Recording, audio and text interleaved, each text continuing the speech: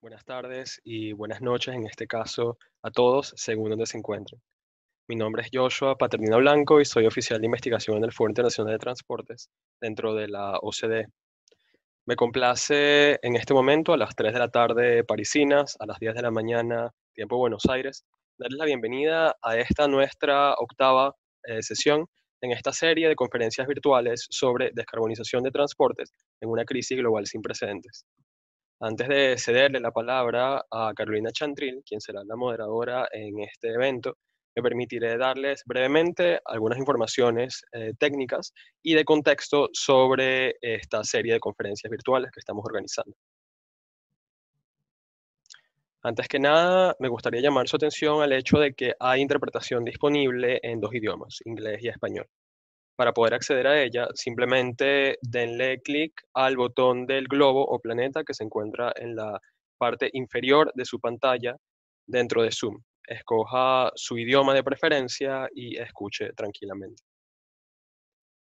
Les eh, recomendamos que no apaguen el sonido original.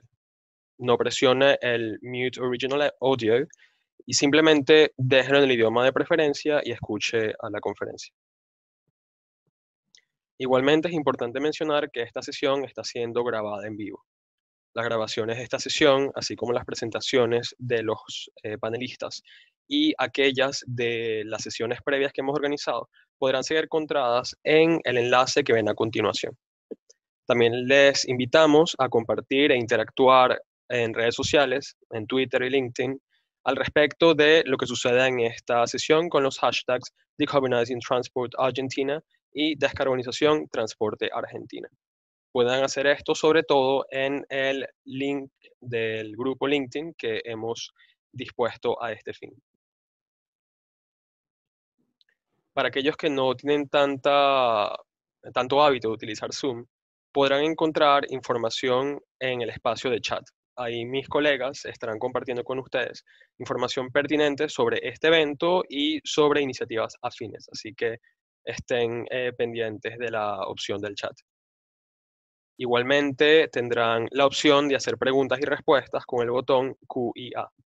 Al final de la sesión habrá espacio para que puedan ser hechas estas preguntas a los panelistas y que se respondan algunas de ellas.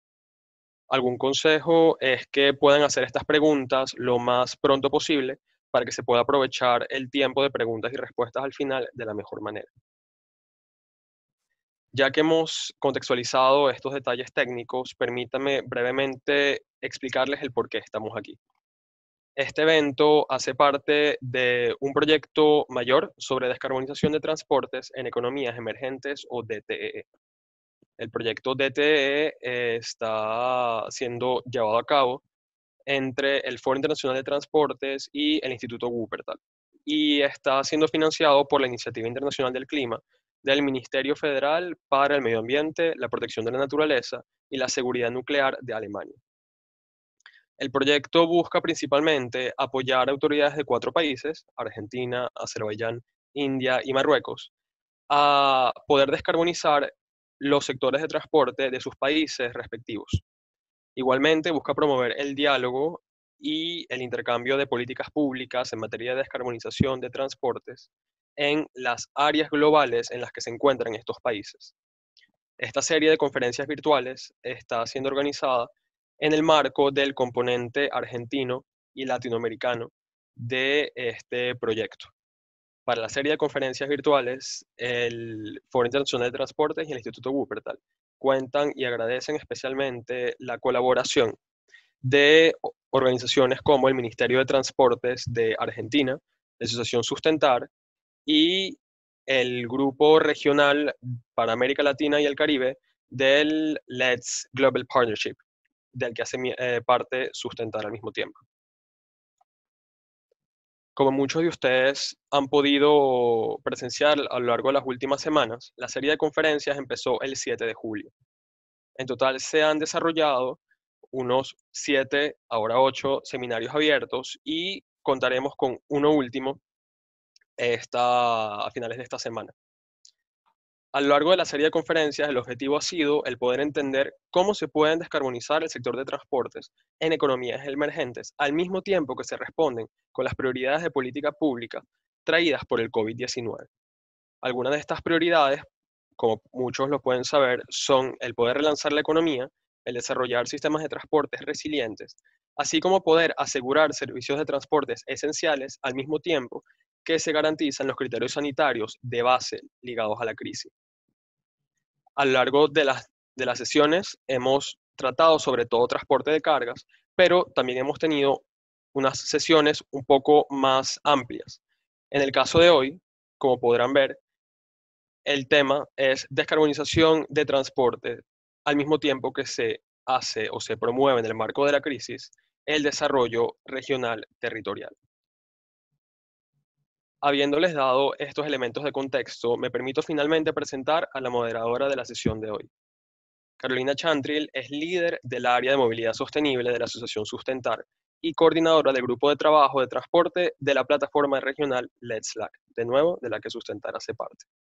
Tiene una larga experiencia trabajando en temas de desarrollo urbano sostenible y procesos de integración sociourbana y desarrollo de infraestructura de servicios básicos. También ha trabajado en temas afines de desarrollo de operaciones de financiamiento multilateral.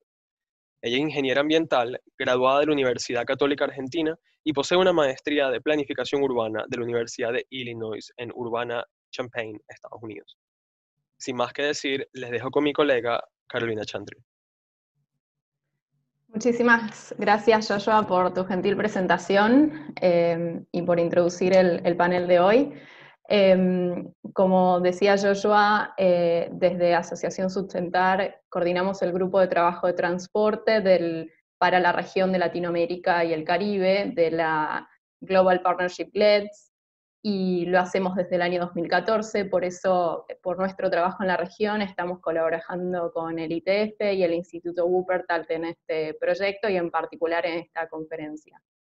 Eh, al igual que, bueno, los oradores y autoridades que fueron precediendo otras sesiones, y, bien como lo decía Joshua, eh, quiero darle la bienvenida a todos los participantes que nos acompañan hoy en, la audiencia, eh, y así también a los panelistas que enseguida los voy a presentar. Em, el panel que me toca moderar hoy tratará de la relación que tiene la descarbonización del transporte con el desarrollo regional territorial. Como se mencionó en varias sesiones eh, de esta conferencia, sabemos que el sector de transporte es responsable por casi un cuarto de las emisiones de dióxido de carbono eh, relacionados al, consumo y producción de energía. Eh, y de acuerdo a un informe reciente de los últimos años, se sabe que las emisiones del transporte de cargas están en aumento, en un 75% aumentó entre el 2000 y el 2015, y se esperaría que esto continúe en el marco de la pandemia del COVID, como bien decía Joshua, eh, se resaltaron, eh, se resaltó la importancia como un eslabón vital del transporte en dos aspectos, uno en relación a la propagación de la, de la enfermedad, pero también en todo lo que tiene que ver con el aprovisionamiento de bienes básicos, alimentos, insumos médicos, y luego también la movilidad de los empleados, tanto de servicios esenciales en el inicio y en la atención de la pandemia, como también hacia la recuperación en las distintas fases de salida de, esta emergencia. Pero también se acrecienta mucho la demanda que hay por el comercio virtual o e-commerce, que también eh, plantea algunas cuestiones a considerar hacia adelante. Eh, por otra parte, eh, como todos sabemos aquí, el transporte es una actividad que resulta de la necesidad de, trasladarnos y de trasladar bienes y materiales. Y por lo tanto se dice a veces eh, como una demanda derivada de la actividad socioeconómica. Eh, es importante considerar entonces cuáles son los patrones de desarrollo que impulsamos en nuestra región. Em, es por eso que proponemos que este panel intente responder las siguientes preguntas.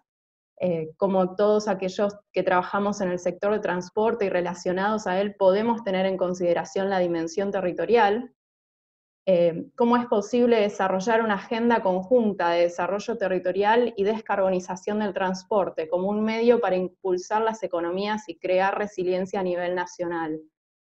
Y agrego qué estrategias territoriales permiten alcanzar esos objetivos, económico, climático, resiliencia, y qué sistemas a la vez de transporte sirven mejor a los patrones de desarrollo territorial que hoy tenemos en Argentina o en la región.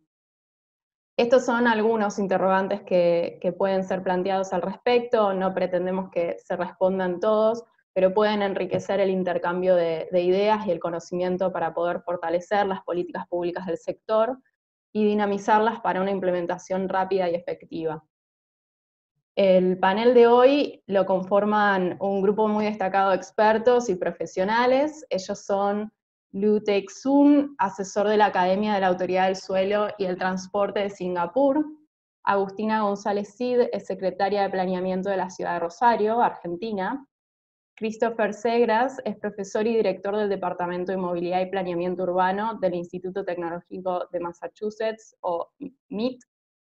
Marelia Martínez Rivas, consultora experta en logística de cargas y facilitación de comercio. Y por último, pero no menos importante, Jung Kuk Woo, investigador senior del Instituto de Transporte de Corea, OCOTI. En nombre de la organización de esta conferencia, le damos la bienvenida y les agradecemos toda la dedicación para participar de esta sesión a todos ustedes.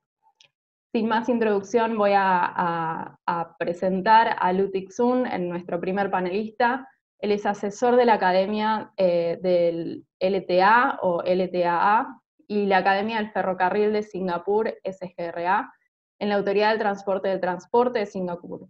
Coopera en la generación de programas de desarrollo y capacidades y ha colaborado con el UITP, el Banco Mundial, el Banco Asiático de Desarrollo y universidades en diversos programas y estudios. Anteriormente ha sido director de las divisiones de Política, Investigación y Tecnología, dirigió el Consejo de Transporte Público para implementar tarifas, boletos y reformas de autobuses, es ingeniero civil y tiene experiencia en políticas de transporte, asuntos regulatorios, de licencias, planificación del transporte, estudios integrados del suelo, diseño ferroviario, diseño vial, operaciones y mantenimiento. Una gran experiencia.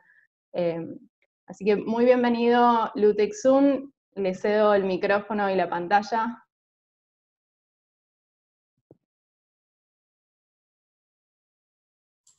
Thank you, Carolina. Um, let me pull up my slide.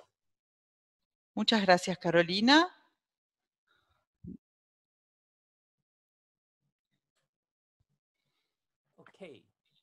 Bueno, buenos días, buenas tardes, buenas noches a todo el mundo. Eh, eh, soy de Singapur y hoy voy a hablar sobre el uso de la tierra integrado y el planeamiento de transporte. Les daré ejemplos que hemos usado para compartir con ustedes. Primero, una introducción. Singapur es muy pequeño, como se ve en el mapa. Tiene 725 kilómetros cuadrados, la población es de 5,7 millones. Es muy denso, no somos muchos, pero es denso.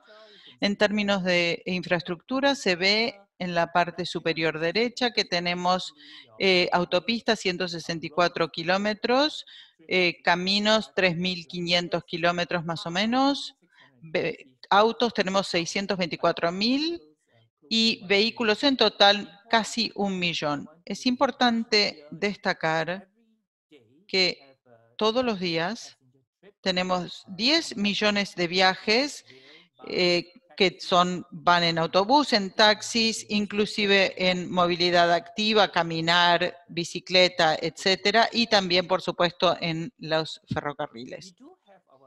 Tenemos un plan maestro, como cualquier otra agencia de planificación. Eh, cuando se formó esto, esta agencia en el 96, tuvimos nuestro primer plan maestro y desde entonces cada cinco años refrescamos y renovamos nuestro plan. En este momento estamos en 2020 y estamos en la implementación del plan al que le llamamos el Plan Maestro de Transporte Terrestre 2040. No voy a eh, hacer muchos detalles al respecto, pero pueden entrar en nuestro sitio web. La primera parte tiene mucho que ver sobre el desarrollo de la infraestructura, lo llamamos eh, eh, ciudades pequeñas de 20 minutos, que, que, son a las que quedan 20 minutos, y después ciudades de 45 minutos que vamos de un punto al otro de la isla. Tenemos una segunda parte que se llama transporte para todos, es más inclusivo, tiene que ver con la forma en que se viaja a diario y que sea amable y fácil de usar. Lo usamos los viajes sin barreras, así lo llamamos, y es parte del plan maestro tiene que ver con las vidas sanas y viajes más seguros. Y eso vamos a hablar de, por ejemplo, tener autobuses más limpios, etcétera, etcétera. Pasamos de algo que al principio era tenía más que ver con el suministro, con lo que se necesitaba y ahora lo que tenemos somos resultados aspiracionales, es lo que más queremos. Con respecto a la planificación, como se ve en este tema, tenemos integrado el uso de la tierra y el transporte. Esa es nuestra estrategia coherente desde la independencia en 1965, hace un poquito más de 50 años. Se ve aquí una serie de planes de concepto hasta el 2030, incluso más allá. Y con esto se ve que hay un plan de transporte. ¿Cómo lo hacemos? Aquí, del lado derecho, se ve que tenemos los distintos eh, procesos. con respecto al plan de concepto, después tenemos el plan maestro y tenemos estudios de, viabilidad de planificación y después tenemos el concept plan que es de 30 a 40 años. Eh, los estudios se dividen en dos. Uno es el programa de desarrollo de rutas de cinco años, que, tiene que ver con la construcción de autopistas, etcétera, y después eh, tiene que ver con la parte ferroviaria y las redes de autobuses. Estos dos se dividen luego. Quiero hablar también sobre eh, los desarrollos de tierra juiciosos. Singapur es un estado muy chiquito, compacto, con mucha densidad. Por lo tanto, la tierra es muy preciosa y muy valiosa para nosotros y la usamos de la forma mejor y más disponible. Aquí les muestro cómo es que desarrollamos la tierra y cómo la usamos. Tenemos, por supuesto, el ensamblado de tierra de este lado. Aquí tenemos la parte de adquirir tierra de usar tierra, los compensamos a las personas que tenemos que mover de ese lugar y también luego lo que hacemos es amalgamarla y reparcelarla. Esto va por la parte de ensamblado de la tierra. Y luego tenemos que liberar la tierra para el desarrollo. Y tenemos algunas cosas clave que usamos. Usamos el programa de venta de tierra de gobierno por medio de licitaciones vemos las distintas selecciones de los lugares, de los emplazamientos. A veces hacemos una asignación directa para algunos usos específicos, para un aeropuerto, para algo así. Y si no, lo que hacemos es usar el desarrollo. Vemos que si hay planes de construcción, vemos la parte regulatoria. Si se ven del lado derecho, quiero resumir en dos áreas. Son dos cosas muy diferentes lo primero son los objetivos de uso de la tierra. Acá tenemos una autoridad de redesarrollo urbano. Después tenemos los objetivos de transporte de la tierra. Esta es mi agencia. Para nosotros tenemos el propósito de ver las posibilidades de transporte y los objetivos que tienen que ver con eso. Y luego también tenemos los objetivos de los beneficios que te da la tierra. Esto es la tierra que tiene el gobierno. Y esto está a cargo la autoridad territorial de Singapur. Eh, así podemos dar el desarrollo y el uso de la tierra con eh, los resultados que deseamos obtener. Yo menciono aquí el, el sector privado porque el gobierno no solamente desarrolla eh, la tierra para uso público, sino que también usa al, sector privado, licitamos, etc. Ahora voy a pasar a cosas muy específicas, ejemplos. El primero del que quiero hablar es los centros de estilo de vida integrados. Como se ve en esta mapa, Hay muchas burbujas eh, donde hay lugares, centros comerciales y lugares donde la gente vive. Eh, tenemos, eh, por supuesto, las redes ferroviarias principales, están todas conectadas, están en nodos donde desarrollamos estos centros y combinamos viviendas, como se ve aquí, y desarrollos comerciales. Esta es la estrategia que usamos. Estratégicamente desarrollamos estos centros de estilo de vida con acuerdo a un plan que tenemos, que es el plan maestro. Ah, este es un ejemplo, es que prestamos atención a la logística urbana. Y aquí se ve todo el sistema, el ecosistema.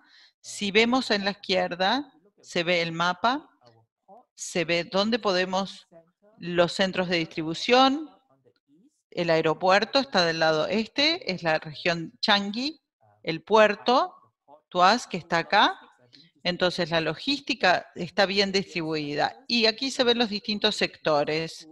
Tenemos en los alimentos, las, ventas, construcción, incluyendo el tema que tiene que ver con la basura, ¿no?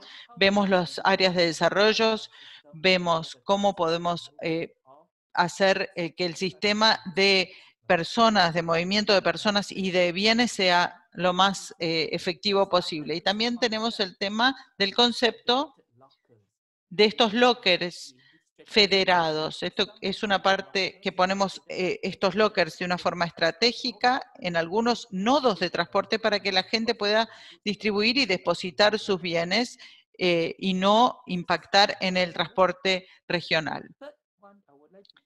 El tercer punto que quiero mencionar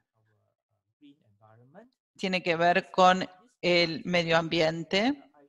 En este diagrama muestro los factores de empuje y de, tironeo que hay.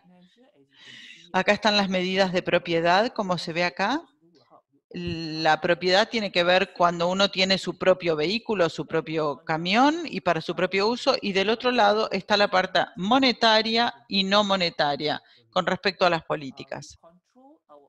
Controlamos la propiedad con un eh, sistema de cuota de vehículo, hay que tener una licitación y hay un certificado de propiedad, de derecho para tener, y hay otros eh, gravámenes también con respecto a tener el propio vehículo.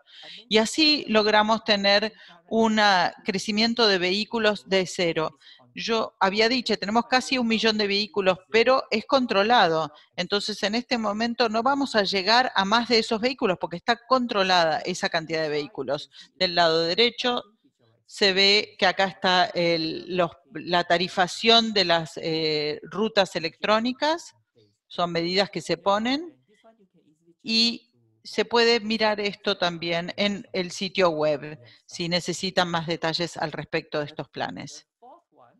El cuarto tiene que ver con los gravámenes o tarificación de congestión. Fuimos uno de los primeros que pusimos este programa en 1995 y desde entonces hemos pasado a este tipo de tarificación electrónica, como se ve acá, el sistema se llama ERP, que es tarificación de rutas electrónica, esto lo usamos en el centro de la ciudad. Se ve que acá hay un cordón, hay dos aros y lo usamos con todo el... Después tenemos, por supuesto, las autopistas rápidas que van al centro de la ciudad. Y acá son los puntos donde tenemos estos precios, estos, eh, hacemos estos cobros para entrar a la ciudad. ¿Cómo lo tarificamos? Si lo ven acá, depende con la velocidad, la forma en autopistas, eh, con las condiciones de tráfico normal, cuando si pueden irse a más de 65 kilómetros por hora, uno paga para entrar a la ciudad, a la ciudad, más bajo. Pero si usted tiene una baja velocidad y hay mucho tráfico, va a pagar más para entrar. De modo que hay una, un rango hay una velocidad que nosotros consideramos óptima. Y lo mismo pasa en los otros, eh, las otras rutas. Tenemos usar la tecnología para poder, y los datos que tenemos para poder eh, ver qué hacemos con la demanda.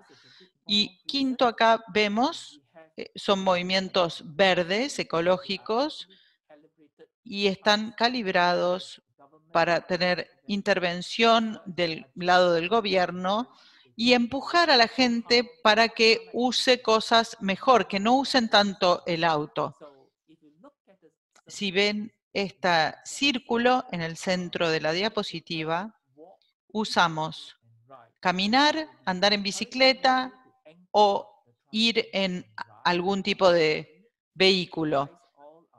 Entonces usamos la red de eh, transporte público, autobuses, trenes, se puede caminar, andar en bicicleta o ir en aparatos de movilidad personales. Del lado derecho tenemos taxis, eh, autos que se alquilan o compartir autos. Todos estos juntos hacen que sea la integración de movimiento que tenemos para desplazarnos como un paquete para que la gente entienda el mensaje y lo use. Entonces, eso es todo. He mencionado algunas de las cosas que usamos, un resumen. Eh, tenemos una visión muy clara y planes a largo plazo, de 50 años inclusive. hacemos estudios y analizamos. Y también hablé de cinco áreas importantes para obtener los resultados, eh, para que haya menos congestión, para que sea más sostenible, más ecológico.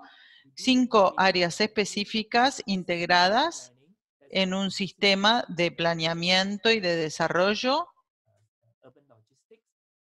eh, logística urbana, una serie de medidas de tironeo para ayudar como por ejemplo esto que hablamos del cargo por congestión. Y lo último es que innovamos sistémicamente y también hacemos que la gente cambie su conducta y quiero que recuerden que se trata de que los puntos básicos estén bien hechos.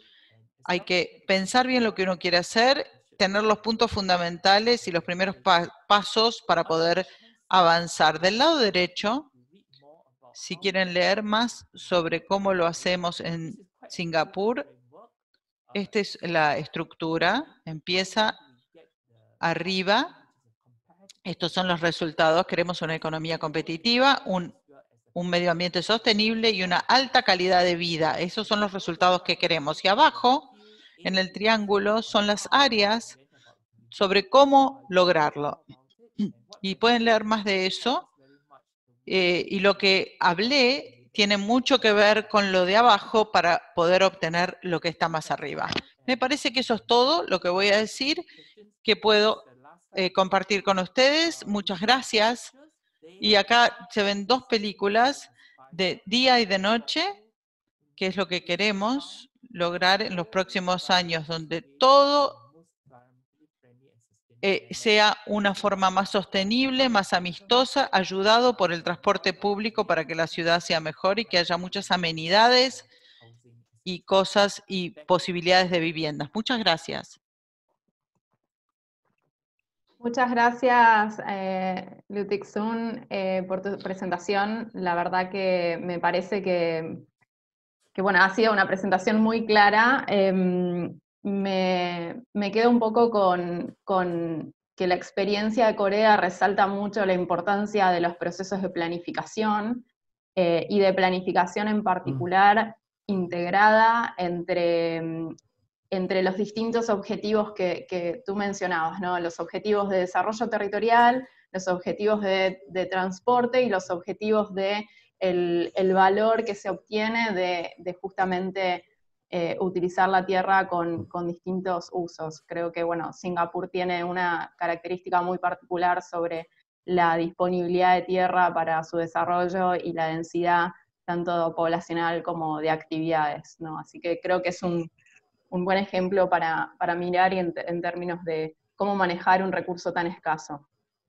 Voy a pasar sin más a, nuestro siguiente panelista, eh, y antes de eso me gustaría aprovechar para recordarles a los participantes que en este seminario virtual pueden dejar sus preguntas y comentarios eh, para todos los panelistas en la ventana de QIA. Eh, estaremos tomando nota de ellas y abordaremos al final de las presentaciones eh, esas preguntas. Por favor recuerden también mencionar a qué panelista quieren dirigir sus preguntas. Bueno, y sin más, entonces sí paso a nuestro siguiente panelista. Ella es Agustina González Cid, es secretaria de Planeamiento de la Ciudad de Rosario, es arquitecta y diseñadora urbana, tiene una maestría en Ciencias de la Arquitectura y Estudios eh, Urbanos del Massachusetts Institute of Technology, el MIT, lo que la realizó a través de una beca Fulbright, y un posgrado en Arquitectura y Tecnología de la Escuela de Arquitectura y Estudios Urbanos de la Universidad Torcuato Di Tella, eh, con un título profesional de Arquitectura de la Universidad Nacional de Rosario. Además de secretaria de planeamiento, ella es docente en la Facultad de Arquitectura y Planeamiento y Diseño eh, de la Universidad de Rosario. Eh, se desempeñó como profesora titular también de la Escuela de Arquitectura y Estudios Urbanos de la Universidad Torcuato de Itela y como asistente en el MIT. Sin más, Agustina, bienvenida. Podés tomar la palabra y el control de la pantalla. Bueno, antes que nada, gracias por la invitación, gracias Carolina también por, la presentación. Bueno, es interesante hablar después de la presentación de Singapur, porque mm, como, bien decía Carolina, em, yo vengo, eh, trabajo eh, como secretaria de planeamiento en Rosario, en Argentina, y tenemos el caso opuesto a Singapur, acá más que faltar tierra, sobra tierra y espacio, la planificación viene eh, más bien por no permitir que, esta expansión em, se dé descontroladamente.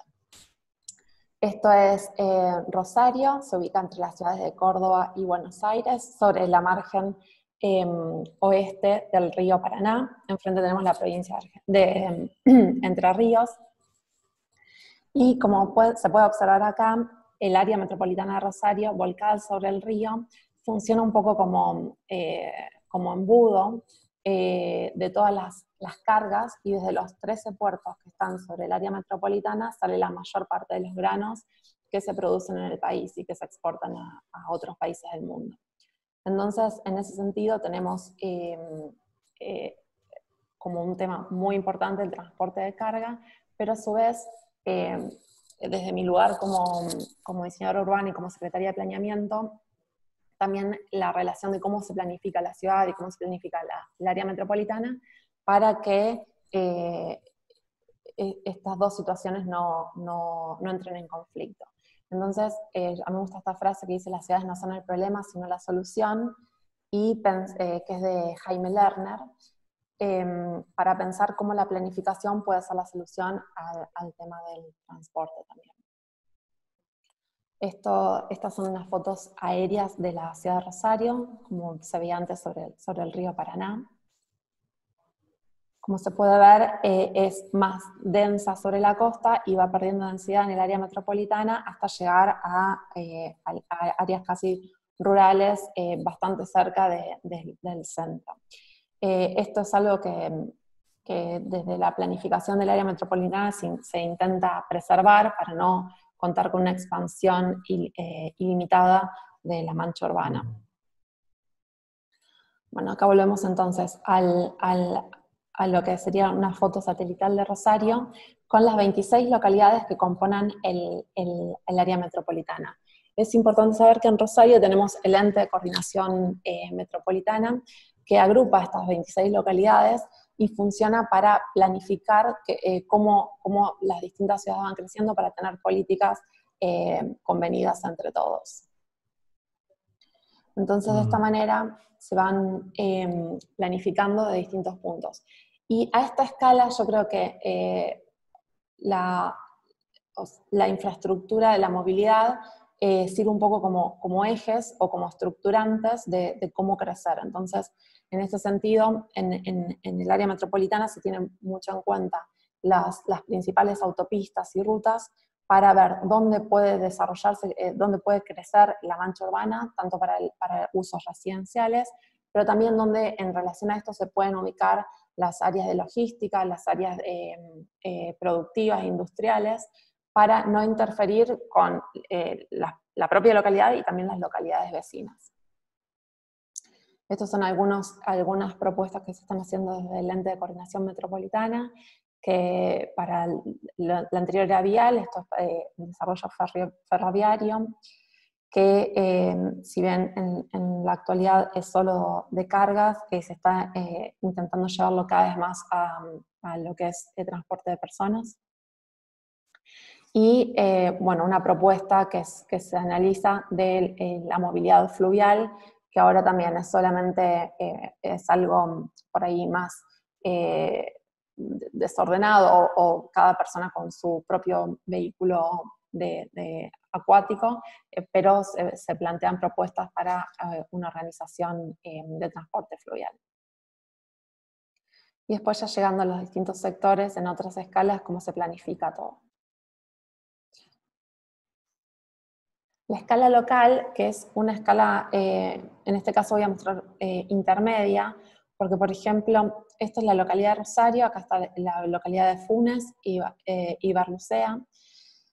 Y en, estos sectores, ¿cómo se planifica? Entre las, entre las tres localidades, un sector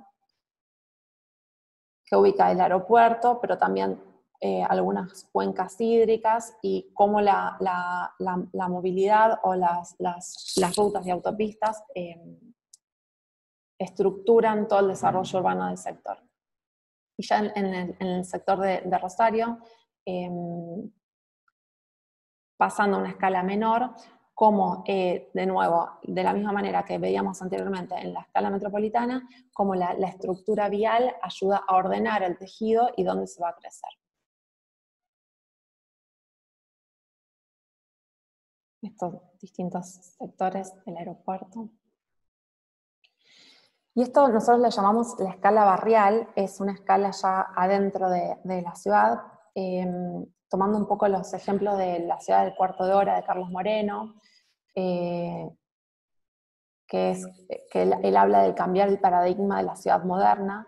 En este sentido, eh, nosotros eh, estamos intentando esto de reinventar la, proximidad, darlo a la intervención urbana y fomentar la aparición de múltiples centros a partir del cambio de normativa. Entonces, em, Carlos Moreno habla de eh, la, importancia de la proximidad para alojarse, trabajar, aprovisionarse, acceder a la salud, aprender y divertirse.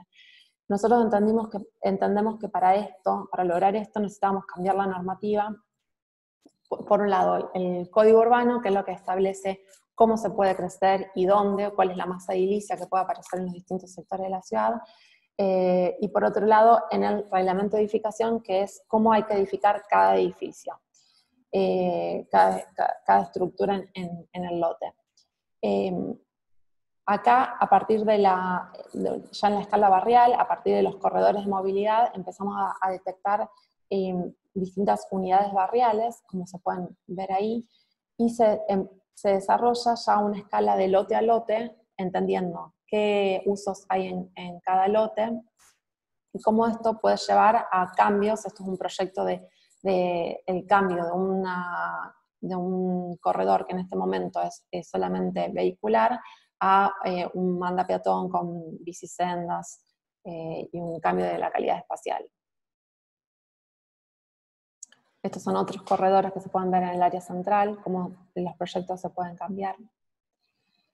Pero cuando decía del, cambio del reglamento de edificación, eh, eh, hablábamos también de esto, este es el libro Soft City de David Sim, que es interesante porque habla de la importancia de los primeros tres metros eh, desde el nivel de vereda para arriba, en la sensación de cómo se percibe el barrio. Entonces, eh, David Sim habla de que el barrio no es un lugar, sino un estado mental.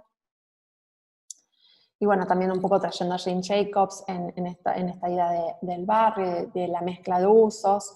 Em, nosotros entendemos que eh, es importante poder permitir que haya diversos usos. Entonces, em, en esta ecuación de la densidad por diversidad es igual a la proximidad, que es lo que veníamos hablando antes, para lograr esto nos dimos cuenta que, el, reglamento debía, debía permitir eh, mayor altura en la planta baja para así poder alojar eh, usos diversos. Entonces, para esto estamos eh, ahora trabajando en el proyecto de ordenanza para cambiar la normativa y lograr mayor proximidad a partir de levantar la, altura de planta baja y así eh, que los usos que la gente necesita para la vida diaria se encuentren más cerca de, los hogares. Esto es como sería un poco el, el barrido de las, de las, distintas escalas, o sea, desde la escala metropolitana hasta la escala edilicia, de, de, cómo estamos pensando la ciudad, un poco en relación a la planificación y al transporte. Bueno, gracias. Muchas gracias, Agustina, por la presentación sobre el caso de Rosario. Creo que, como vos lo notabas al principio de tu presentación, es como un buen caso de contracara a lo que nos presentaba eh, eh al, principio sobre Singapur, donde el principal problema en muchas de las ciudades latinoamericanas tiene que ver con eh, la expansión de la huella urbana sin eh, digamos, de manera descontrolada o no planificada, que produce después un montón de problemas eh, a nivel social, incluso a nivel, bueno, en, el tema de esta conferencia, en, los patrones de, transporte y en la posibilidad de, utilizar, digamos, distintas vías de transporte, em, así como un montón de otros impactos. Y, y, creo que también refuerza la idea de la importancia de la planificación eh, y en especial agregaste un, tema que es eh, que se debe planificar en, todas las escalas, digamos, no solo, no sirve planificar solo en una escala en particular, sino también que se tiene que ver cómo eso se va traduciendo hacia escalas más grandes, más regionales, o hacia escalas más locales o más barriales. Eh, con eso, para no demorar más, voy a continuar presentando a Christopher Segras, él es profesor y director del Departamento de Movilidad y Planeamiento Urbano del Instituto Tecnológico de Massachusetts, o MIT, MIT. Eh, enseña planificación del uso del suelo y del transporte, eh, métodos cuantitativos y financiación del transporte. Su investigación abarca áreas interrelacionadas críticas para abordar los desafíos de la movilidad metropolitana, como el comportamiento humano, la transformación digital, técnicas y tecnologías de planificación estratégica. Trabajó en el Instituto Internacional para la Conservación de la Energía en Washington, D.C. y Santiago de Chile para el Laboratorio de Energía y Medio Ambiente del MIT. Tiene una licenciatura en Economía y Español de la Universidad de Tufts y una maestría en Planificación Urbana, maestría en Ciencias del Transporte y un doctorado en Planificación Urbana y Regional también del MIT. Eh, con esto, bueno, bienvenido Cris y adelante con tu presentación.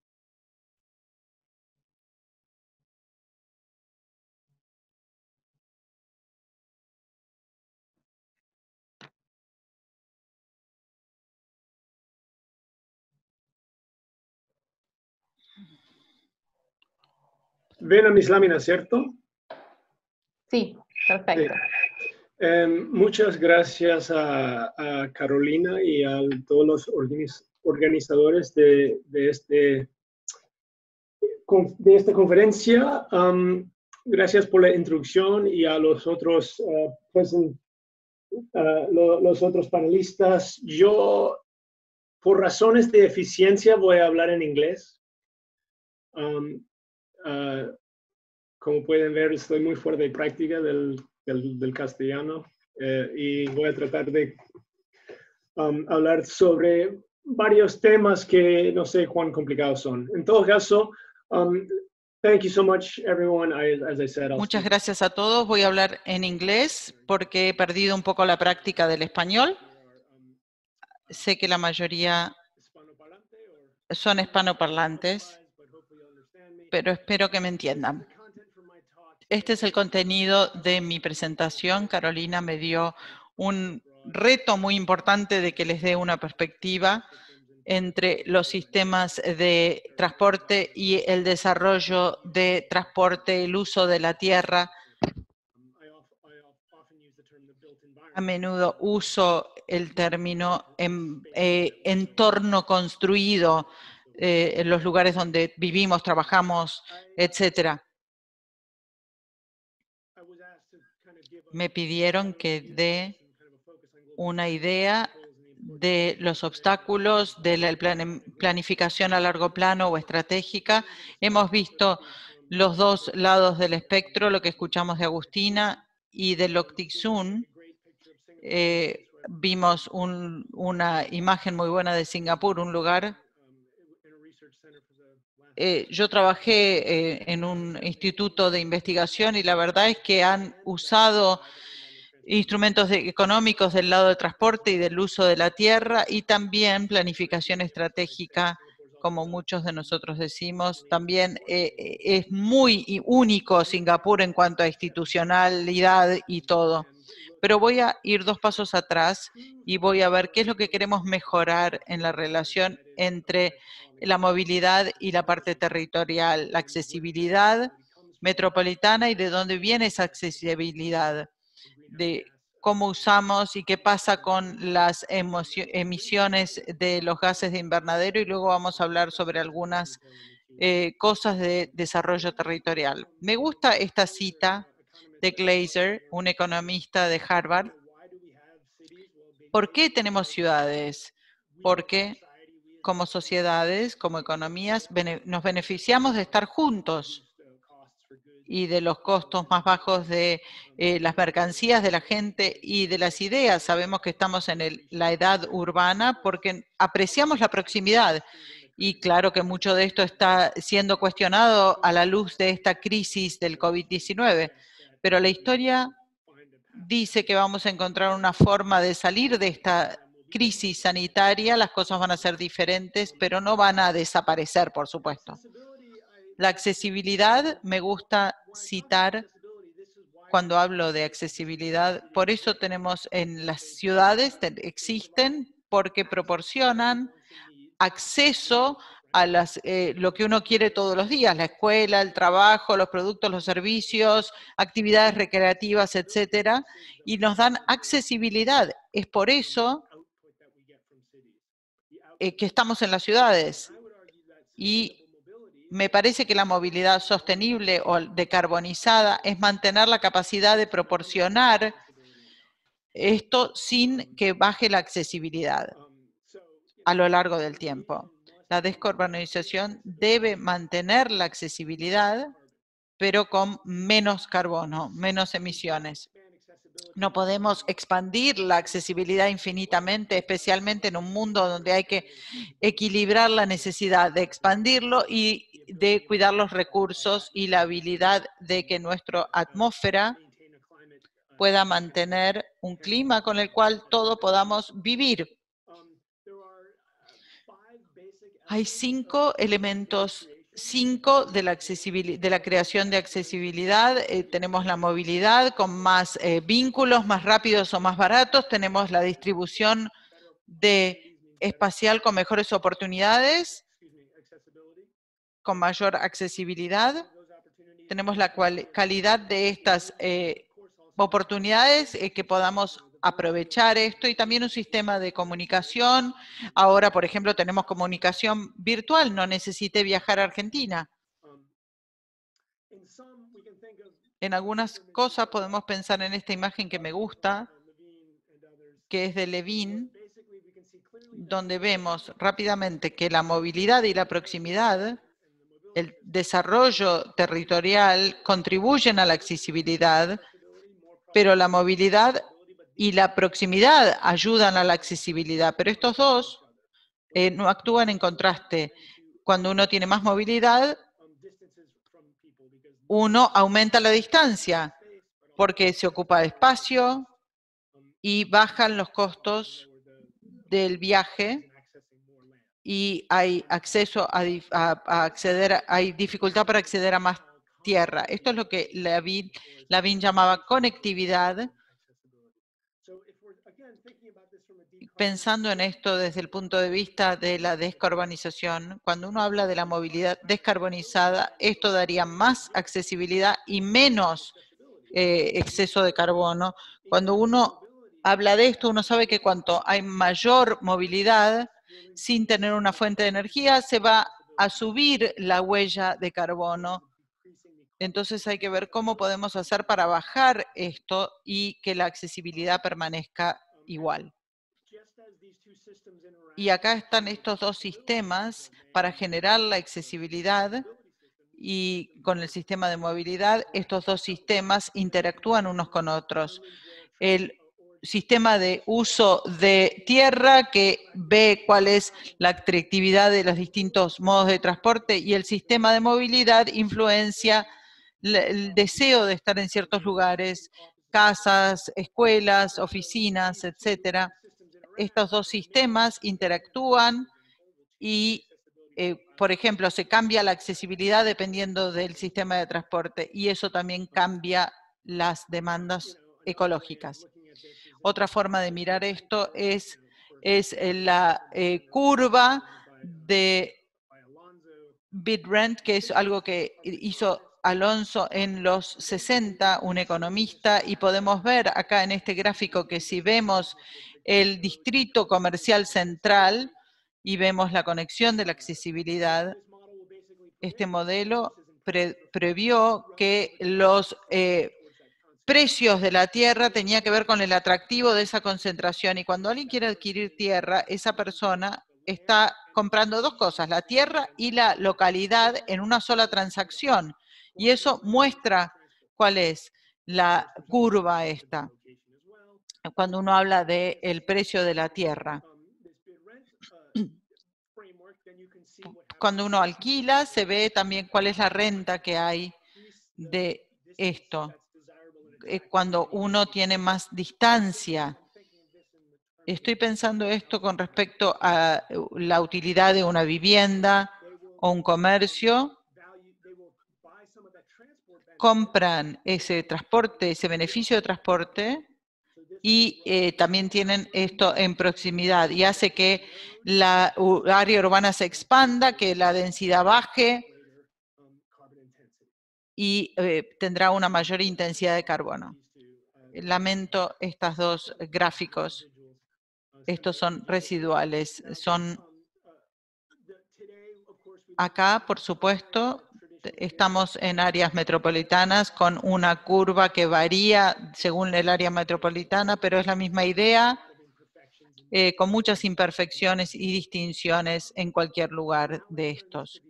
Y ahora pasemos a la descarbonización, y aquí estoy usando GHG para hablar de eh, los gases de emisión de efecto invernadero. Si hablamos de la descarbonización, voy a volver a la estructura de D. Shepard, difunto, que popularizó la estructura de cómo sí, si hay eh, distintos tipos de combustible y distintos tipos de intensidad de combustible cada uno de los... Empecemos con las actividades.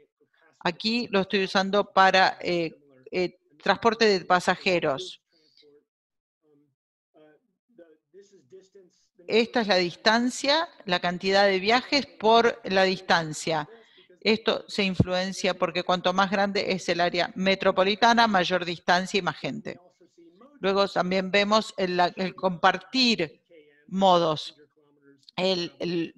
Los kilómetros por pasajero por diferentes modos de transporte. Sabemos que el entorno influencia esto porque se puede influenciar el atractivo de distintos modos de transporte basado en el transporte público, etcétera. Lo vimos esto en las ciudades de Singapur, que hacen distintos tipos de transporte más atractivos. Entonces, el entorno construido también eh, influencia esto y también la intensidad de combustible, que es la cantidad de combustible que se consume por cada uno de esos pasajeros, por cada modo, eh, que se puede influenciar la tendencia de la ocupación de vehículos, eh, ya sean autos, autobuses o trenes. Y por último, también podemos imaginar que este entorno construido también puede influir en la opción de combustible, la intensidad de cada combustible, porque por ejemplo los vehículos eléctricos pueden ir mejor en algunos entornos construidos que los otros,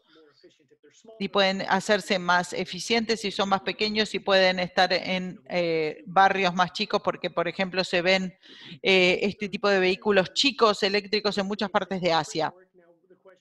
Este es el entorno. ¿Y qué quiere decir esto para el, el entorno construido? Eh, Agustín habló de esto cuando habló de escalas. Siempre cuando estamos pensando en desarrollo territorial, ¿qué es lo que hemos estado haciendo con la planificación de urbana para tratar de influenciar cómo eh, organizamos las ciudades? Se puede pensar en cuanto a el movimiento de ciudad de jardín de los 1800, el movimiento de los 1950 en los Estados Unidos, del urbanismo, son todos diferentes escalas, ya sea controlar el área metropolitana o los barrios. Cada uno de estos se puede mejorar eh, con respecto a las emisiones de gas eh, de invernadero y también los sistemas territoriales y la descarbonización. En las áreas metropolitanas, la influencia del entorno construido tienen tres roles y tres escalas. No sé si se ven aquí, pero esta es la, esto es algo clásico de las eh, áreas metropolitanas. Acá tenemos a Singapur y a los Estados Unidos aquí arriba y se ve acá una esquemática de los diferentes puntos, pero la distribución, aquí se ve un mapa de Chicago, se ve la distribución de las actividades en un área metropolitana que también aumenta el atractivo de ciertos modos de transporte y acá a un barrio tradicional suburbano.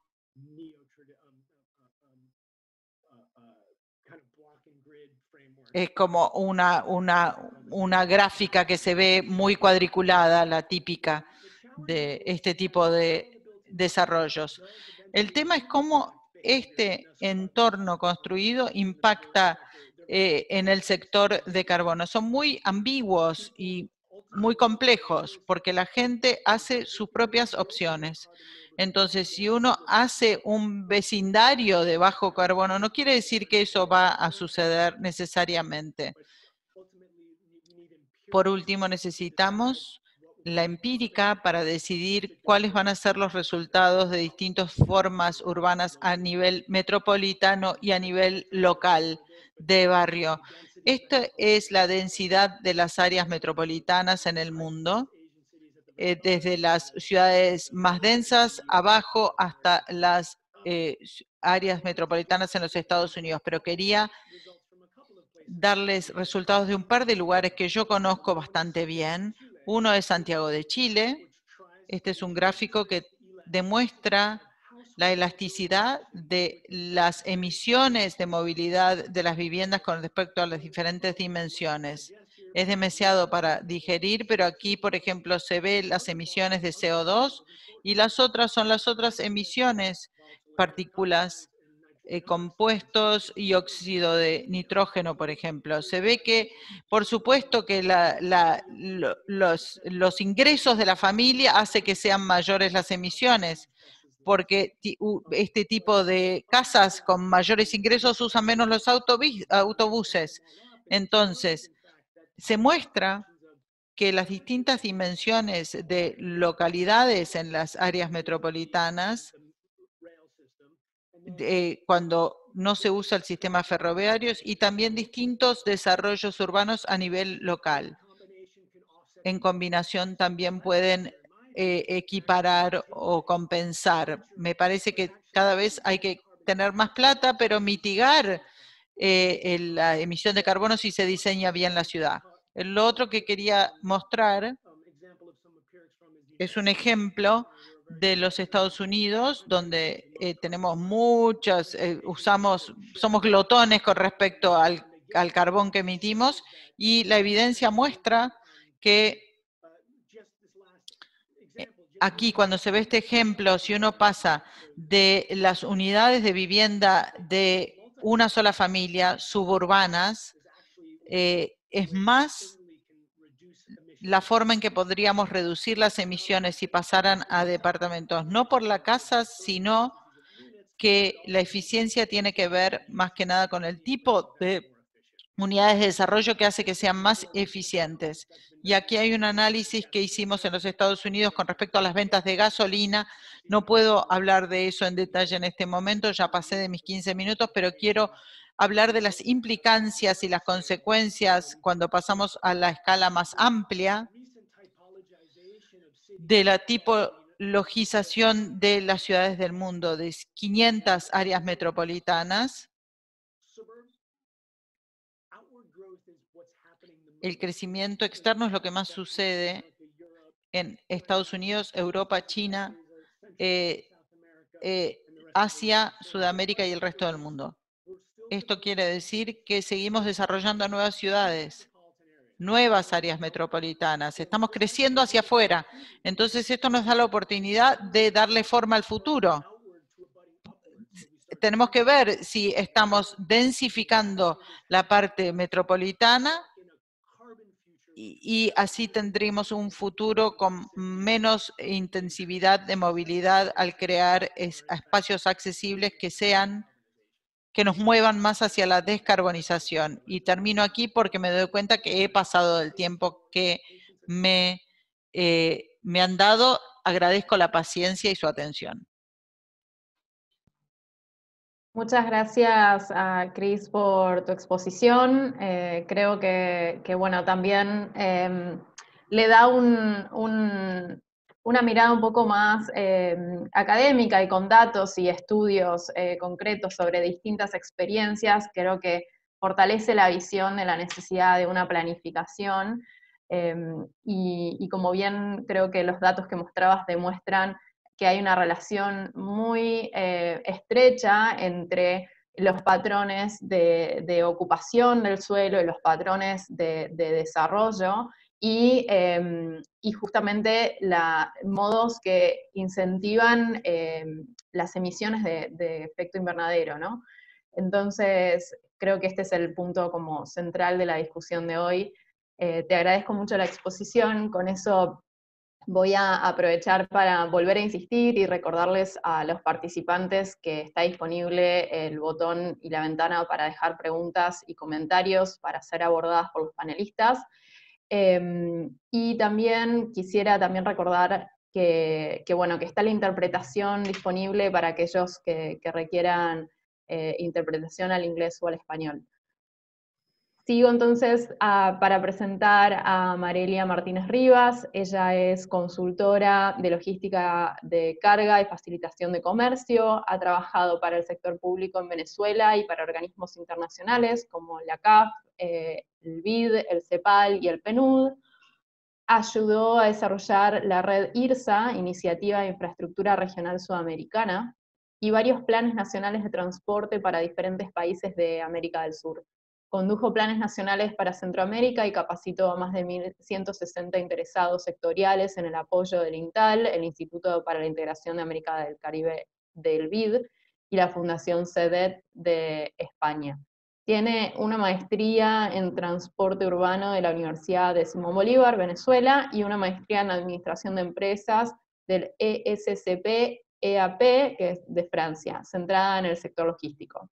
Con eso, Marilia, te dejo la palabra y la pantalla.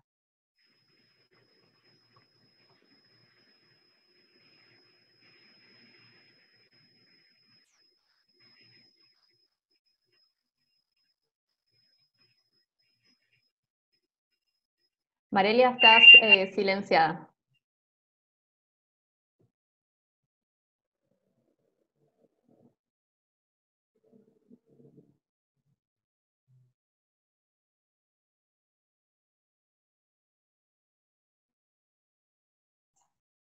Ahora. Ahí sí. Aquí sí. Gracias, Carolina. Gracias a todos. Yo había pensado hacer la presentación en inglés, pero veo que hay muchísimos participantes en español. Entonces, si no les importa, las láminas están en inglés, pero voy a hablar en español. No creo que haya problemas, ¿no? Eh, claro. Eh, bueno, esta, esta presentación es, un es producto un poco de la experiencia de, varios años. O sea, estoy hablando de algo que se inició en el año 89, cuando yo todavía estaba en Venezuela. y, bueno, fue un proceso de maduración progresivo, paulativo, de cómo íbamos de planes de transporte a planes de logística. Yo voy a tocar en esta presentación el tema, bueno, que es la relación del territorio y el transporte de bienes, cuáles son las tendencias recientes y cuáles son las creencias de todos los países que han comenzado a trabajar en planes de logística eh, y, eh, bueno, y cuáles son esas premisas con, con que los países inician cuando quieren hacer un plan de logística. Y bueno, voy a sintetizar un poco qué ha sido esa experiencia en la elaboración de planes y estrategias nacionales de logística en, en Latinoamérica. Aunque algunas de estas aplicaciones, esa la metodología como tal, yo la he utilizado personalmente en países de África del Oeste principalmente, eh, un poco para probar su, su, aplicabilidad en otros contextos, ¿no? Entonces, pero básicamente me refiero a la experiencia latinoamericana. Primero, no hay, no hay ninguna duda en el desarrollo de un territorio, que el desarrollo de un territorio dado es inseparable de la infraestructura de transporte y sus servicios, ¿no? Pero la, la, la, actualidad actual, o sea, la complejidad actual de cadenas logísticas introduce nuevos retos en, la, en, mm, en, las políticas públicas y la planificación. ¿no? En el transporte de bienes, la accesibilidad física debe estar acompañada, no, o sea, no es solamente un problema de accesibilidad física, tiene que estar acompañada de la existencia de una serie de servicios logísticos, pero además procesos de comercio exterior que se adapten al tipo de bienes y a estos flujos, ¿no? Este, las operaciones de control, de, o sea, todo lo que son los procesos de control de operaciones de, comercio exterior, con los años se han vuelto mucho más complejos y exigentes, que lo cual crea este, retos adicionales. ¿no? A esto se le suman los nuevos issues, ¿no? los nuevos problemas relacionados con el COVID-19 que agregan todavía más requerimientos a la hora que un importador o un exportador quiere traer bienes o se quiere inclusive mover en, el territorio, ¿no? Y las cadenas logísticas, los flujos de cadenas logísticas deben ser este, organizados de forma óptima con el fin de, de, que ellos puedan obtener su máximo potencial, en acuerdo con los, con los mm, objetivos de desarrollo de un territorio dado. ¿no? Yo voy a cerrar aquí y les voy a dar un momentico una pequeña anécdota de cómo se originó esto. En el año 89 yo estaba trabajando en Venezuela en un gran proyecto ferroviario, muy gran proyecto ferroviario que buscaba básicamente reducir, no se hablaba de descarbonización en la época, en aquel entonces, pero sí había el interés de que hubiese los grandes movimientos de, masivos de, de, empresas básicas, de las plantas de pulpa de papel que estaban en Venezuela, utilizaran ese ferrocarril.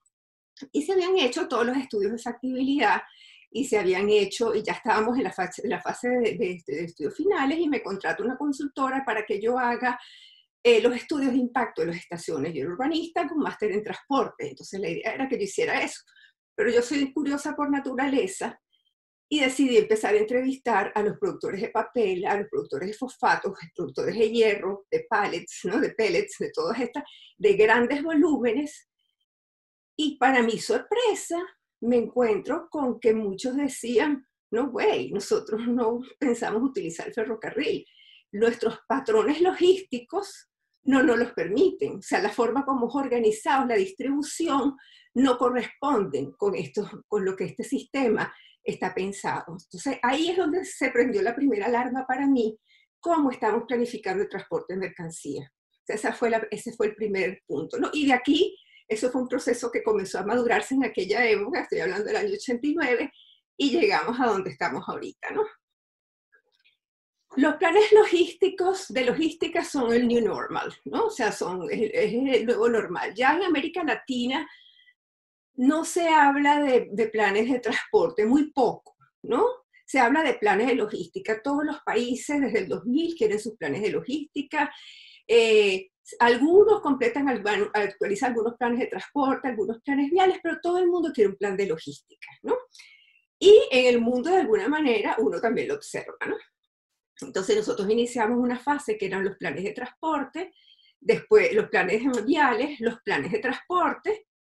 Aparece una cosa que se llama Trade and Transfer Facilitation, pero que se focalizaba mucho en los nodos de comercio exterior. Había un énfasis muy importante en los nodos de comercio exterior bajo la premisa de que si el Estado podía intervenir, debía intervenir en aquellos puntos donde se generaban los problemas aparentemente más ruidosos, ¿no? Era que se consideraban lo más importante por ser los más ruidosos, que eran las aduanas no funcionan, los puertos son ineficientes, los aeropuertos no tienen instalaciones de inspección adecuadas, y se genera toda esta tendencia de Trade Transfer Facilitation. Pero aparecen entonces los planes de logística de carga, como diciendo tenemos que ir un poquito más allá, pero en esos primeros planes de logística de carga empezaron a hacer unos nuevos planes de infraestructura, ¿no? O sencillamente planes de transporte, de, comercio y facilitación de transporte con el nombre de logística, pero al final eran las mismas cosas, se focalizaban en lo que pasaba en los nodos de comercio exterior. Entonces, los primeros planes y los planes que se han hecho después, ¿no? Y toda la iniciativa, yo he hecho ocho planes en América Central y participé directamente en los planes de logística de Colombia, de Perú, unos, unos planes que se hicieron en Ecuador en, en la década de 2000, o sea, varios planes, ¿no? O sea, además de África del Oeste, este, Ruanda, o sea, yo he participado en varios planes, ¿no? Y yo no me he encontrado un solo plan el que el país diga que no tiene una localización estratégica. Todos los países consideran que tienen una localización estratégica, ¿no? Porque visto desde, el hecho de que la vista interna con relación a los demás hace pensar a los países que ellos tienen activos que son más importantes que los demás y que ellos tienen condiciones mejores que los demás para atraer ¿no? Eh, para traer las mercancías que están en tránsito, sumado a la moda Singapur, aprovechando que tenemos a nuestro puerto de Singapur. Todo el mundo ve Singapur como un caso de éxito y de alguna manera quiere copiar esa, esa experiencia y esa buena práctica. Pero ¿qué pasa? O sea, ¿cómo es, cómo es el, el, proceso mental para esto? Los, los puertos están este, tenemos unos puertos que están localizados estratégicamente y a veces aeropuertos. Esos flujos principales los podemos capturar con un poco de marketing, un poco de acciones adecuadas, un poco de infraestructura. Y por esa razón nuestro país es un, es un hub de transporte, ¿no? Pero como es un hub de transporte, puede ser un hub logístico. Entonces, eso es como una conclusión natural en esta ola de pensamiento, ¿no? Pero ¿qué ha pasado? Que el énfasis que se le ha dado a la creación de los hubs logísticos, que como les digo, en todos los países lo hemos visto, eh, eso hizo a que se sobreestimaran las capacidades nacionales en ese objetivo específico eh, y, y, y, se descuidaron cosas ¿no? que eran necesarias como reducir los costos logísticos, optimizar las redes nacionales, para los mm, este, productos, de, todo el flujo de productos de comercio exterior de un país. Entonces, eso se pasó a un segundo plano, ¿no? Entonces, ¿de dónde salen entonces los planes de logística? En los años 2000, yo comencé a colaborar con el Banco Interamericano de Desarrollo para concebir una estrategia de cómo el banco podía este, apoyar a los países esta demanda que había de hacer nuevos eh, desarrollo de sus servicios logísticos, cómo hacer planes logísticos, cómo hacer proyectos logísticos, eh, pero no se sabía, el banco no sabía qué era logística y cómo el banco podía apoyar en logística en una cosa que naturalmente se consideraba que era algo del sector privado. Yo había tenido mi experiencia en Venezuela, entre estas y otras cosas que les conté, yo coordiné un gran estudio de transporte de carga, fue de los primeros estudios de transporte de carga que se hicieron en la región en el año 92-93, exclusivamente para transporte de carga. Este, y, el reto era eso, el reto era ir más allá de, de Trade and Transport Facilitation, ¿no? O sea, todo lo que era este, comercio y facilitación del transporte. Eh, y, eh, y, que y, tuvimos unos pioneros, ¿no? Los países pioneros fueron Perú, Perú, Colombia y Ecuador, que elaboraron sus primeros planes de logística de carga, igual con algunos proyectos sectoriales estos primeros planes fueron desarrollados con consultoría, o sea, de la misma forma como se hacían planes de transporte. Se hicieron los términos de referencia, se contrataron unas empresas de consultoría que no sabían nada de logística, sabían de transporte, pero no sabían nada de logística, ¿no? Entonces, y en esa época también, en paralelo, introdujimos en, el, en la iniciativa IRSA Integración Regional, se introdujo el tema de logística, ¿no? ¿Cuáles fueron las lecciones aprendidas de esta primera fase?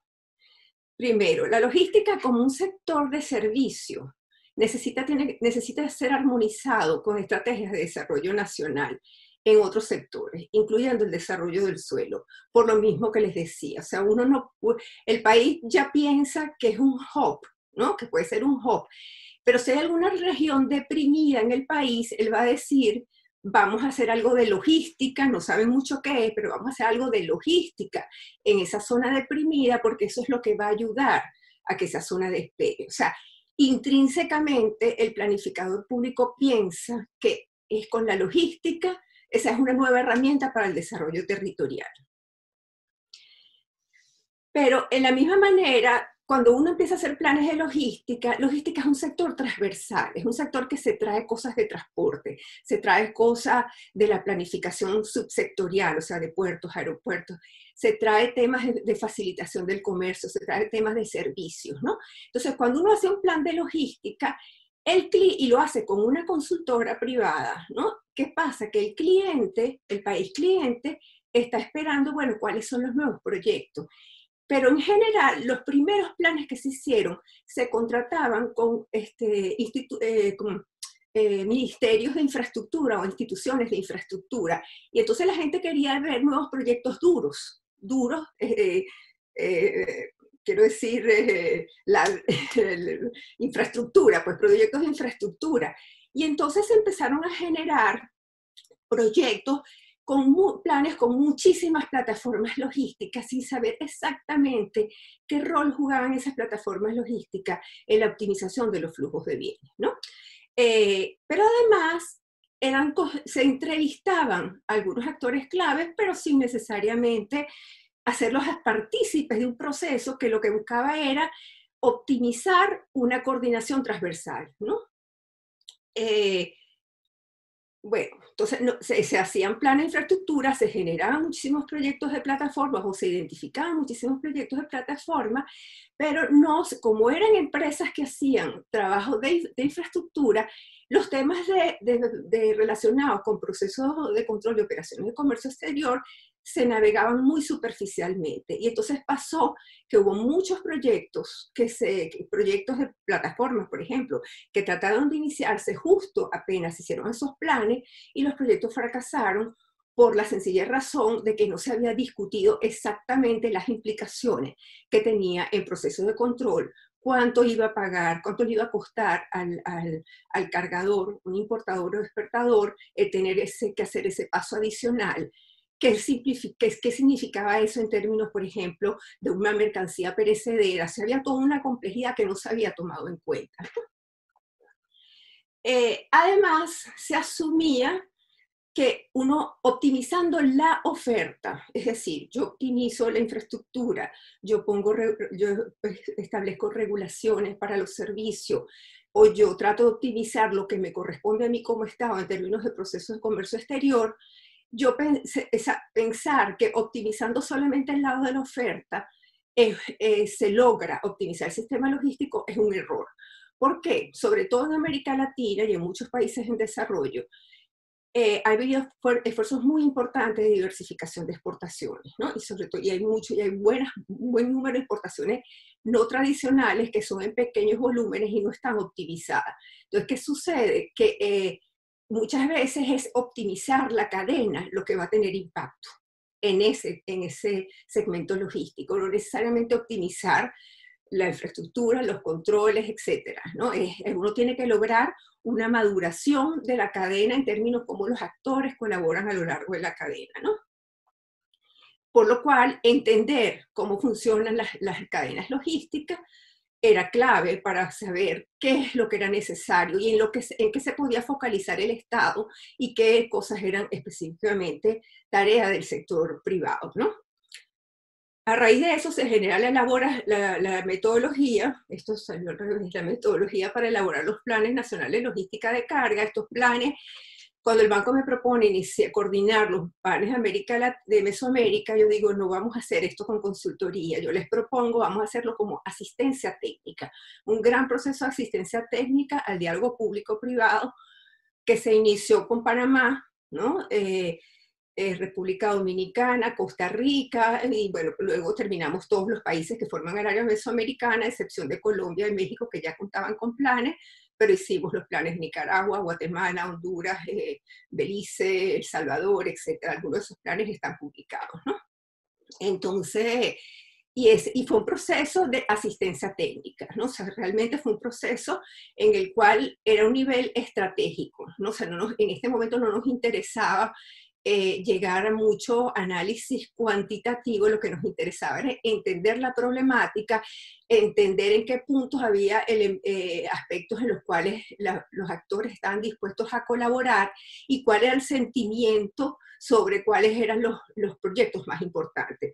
Esos planes se apuntalaron entre, en, en tres grandes ejes, ¿no? Todo lo que es oferta, cuando yo hablo de oferta es infraestructura, servicio, proceso, y todo lo que es institucional, legal y financiero. Demanda era el análisis de las cadenas logísticas, hubo un proceso metodológico interesante de depurar cómo íbamos a segmentar, porque no era, en, en, ejercicios anteriores se había intentado de hacer un mapeo de cadenas muy exhaustivo, se tenía tanta información que no se sabía qué hacer con eso. Entonces, lo que se, hizo, metodológicamente, hubo un proceso de ver cómo se segmentaban las cadenas con las cuales nos íbamos a focalizar, en qué familias nos íbamos a focalizar. Eh, y en ese ejercicio eh, se mapeaban cadenas con, con todos los participantes, porque parte del proceso era la misma construcción de cómo funciona una cadena, el hecho que un aduanero que controla y está al lado de un transportista y de un productor, ya ahí comenzaba un proceso de, de coordinación, si se quiere, ¿no? entre los distintos actores. ¿no? Y todo el tema del territorio, porque bueno, la logística ocurre en el territorio y, organiza, y cuando uno hace un plan de logística, uno lo que quiere es optimizar las redes que funcionan en el territorio. Entonces, para darles un ejemplo, por ejemplo, acá, la demanda, este es el caso, este es el caso de Guatemala, se, focalizaron en estos segmentos logísticos, todo lo que eran las exportaciones de agrícolas perecederos, maquilas, forestales, regionales, con ciertas familias seleccionadas. En el caso de la oferta, bueno, uno analiza eh, eh, los problemas que infraestructura portuaria, aeroportuaria, logística, este, pasos de frontera, etcétera, y así, ¿no? Servicios, procesos y todos los aspectos institucionales, legales y financieros. Y en el, y en el territorio, uno ve dónde están los principales conglomerados, es decir, cuáles son esos principales puntos de concentración de actividad porque la logística no funciona aislada, la, logística funciona en clústeres en el territorio, y esos clústeres tienen jerarquía. ¿No? Entonces uno, uno va a tener siempre un clúster importante en el país, nosotros eh, por metodológicamente decidimos llamarlos conglomerados, eh, y esos conglomerados tienen jerarquías, uno puede estar apoyado en un puerto, después a un aeropuerto, pero no, no, es solamente el elemento del transporte que crea el conglomerado logístico, es el, nodo de transporte más la infraestructura logística, más todos los servicios que se ubican ahí. Entonces, es todo ese conjunto el que hay que optimizar. Entonces, siempre en los planes bajábamos de una visión nacional a identificar esos conglomerados y a optimizar esos conglomerados, ¿no? Y bueno, y hay puntos menores que lo llamamos nodos, ¿no? Esta metodología está para información, está en revisión final para su publicación. O sea, ya la metodología corregida después de haber varios años, de super unos siete años aproximadamente de depuración metodológica, ya está pronta a publicarse por el banco. Eh, las fases, hay una primera fase que es segmentación de la demanda. Esta segmentación se hace con el sector, los representantes del sector privado del país para, estar, para que ellos estar seguros de que todo el mundo ve identificadas sus necesidades más importantes ahí. O sea, ese proceso, ese proceso de diálogo inicia desde el mismo momento en que uno empieza a planificar los primeros talleres, ¿no? Eh, la selección de la red institucional, o sea, con la misma segmentación de la demanda, uno sabe que tiene que invitar a los productores de, de, de maquila o a los productores de, de qué sé yo, máquinas textiles o tiene que invitar a los productores de, productos de vegetales orientales, dependiendo del país, esto, esto va a tener una conformación diferente. ¿no? Eh, analizamos la, la, la, situación actual de la oferta y la demanda con información secundaria, pero con mucho trabajo en taller, y se llega a una, a una conclusión sobre la estructura y desempeño, y desempeño del sistema logístico nacional, que incluye la estructura y desempeño de la oferta, pero también de la demanda. ¿A qué nivel de madurez este, tenemos cada uno de esos segmentos representativos? La agenda estratégica, cuáles son los retos estratégicos del país, la agenda, o sea, misión, visión, objetivos y estrategia, hacemos un plan de acción, una imagen objetivo, que es una imagen, no, no lo quisimos llamar plano, es una imagen de cómo se ve el sistema logístico a futuro, eh, un plan de acciones inmediatos y una estrategia de implementación. En, en, algunos países de la región, estos planes de acciones inmediatas han servido para que el banco eh, desarrolle eh, o, genere préstamos de reforma de política que han, han permitido apuntalar toda la construcción institucional, inclusive con, Honduras, por ejemplo, yo estoy trabajando ahorita con la ley de logística, es el primer caso de ley de logística de la región, eh, y así, pues, o sea, hay muchas cosas que salen, pero son producto de ese consenso que se logra entre actores públicos y privados. Y finalmente, ¿sí? Sí, solo mencionarte que tenemos un minuto más, eh, sé que está llegando al final. Sí, esta es la última, ¿no? Esto es solamente un ejemplo eh, de cómo eh, este tipo de consideraciones entran. Esto no es uno de los planes que hicimos, esto fue un trabajo que yo hice con Perú, con el plan de facilitación del comercio, que ellos pidieron incorporar algo de la metodología aquí. Y en este caso, en el caso de Perú, eh, por ejemplo, uno de los elementos aquí importantes en ese análisis fue decidir, o sea, nosotros tenemos tal, todas las mercancías en Perú, gran parte de las mercancías en Perú salen por el puerto de Callao. Y no tiene, por ejemplo, productos como la quinoa que se producen al sur de Perú, en esta zona, esta zona que está en la frontera con Bolivia, y deben trasladarse hasta el Callao. ¿Por qué? Porque todos los patrones logísticos obligan a que vaya para el Callao. Entonces, en ese ejercicio que hicimos, la idea es, no, sí, se han hecho concesiones de puertos, sí, se han hecho algunas redes de viales importantes, pero no se ha integrado el tema de servicios ni de procesos de comercio exterior para asegurar que todos los exportadores en la parte norte y la parte sur este, cuenten con todos los elementos que requieren logísticamente para que ellos puedan reducir, reducir su huella de carbono, ¿no? básicamente, y, y optimizar su flujo. Bueno, muchísimas gracias y esto es lo que quería compartir con ustedes. Muchísimas gracias, Marelia, por acompañarnos y compartir tu presentación. Eh, particularmente em, me gusta mucho que, un poco siguiendo la, narrativa de los otros panelistas, hiciste un doble clic en, la relación específica de lo que es el transporte de cargas, que fue en lo que esta conferencia se ha centrado y ha discutido, creo que has tocado varios temas que han salido en discusiones previas, como por ejemplo esto último relacionado a, a bueno, la interrelación que tienen el, comercio con distintos modos de transporte de cargas, ¿no? o sea, la necesidad de integrar eh, el ferrocarril con los puertos, con, las estrategias de, bueno, de dónde se producen los bienes y dónde se consumen los bienes eh, y ese tipo de cosas. Así que agradezco mucho la visión que aportaste. Eh, con esto paso a presentar al último panelista, em, que es Seung-Kuk Wu. Él es investigador senior del Instituto de Transporte de Corea, o COTI, y director del equipo de investigación de operación de tráfico, movilidad personal. Su principal área de investigación es el desarrollo de políticas para el transporte sostenible, realizó estudios sobre la mitigación de emisiones de gases de efecto invernadero en el sector de transporte y la mejora del entorno de movilidad peatonal y personal. Antes de trabajar para el Instituto eh, de Transporte de Corea, fue becario postdoctoral en el Instituto de, Tecnología de eh, Georgia. También trabajó durante varios años como ingeniero de transporte en Yushin Engineering Corporation en Corea, Recibió su doctorado en Ingeniería Civil del Instituto de Tecnología de Georgia en Atlanta y su licenciatura y maestría de Ingeniería Civil en la Universidad Nacional de Seúl. Eh, señor Wu, le doy la bienvenida a este escenario virtual, la pantalla y el micrófono son todos suyos. Uh, thank you, Carolina. Uh, Muchas gracias, Carolina. Gracias por invitarme. Es un placer estar aquí. Quiero compartir mi pantalla.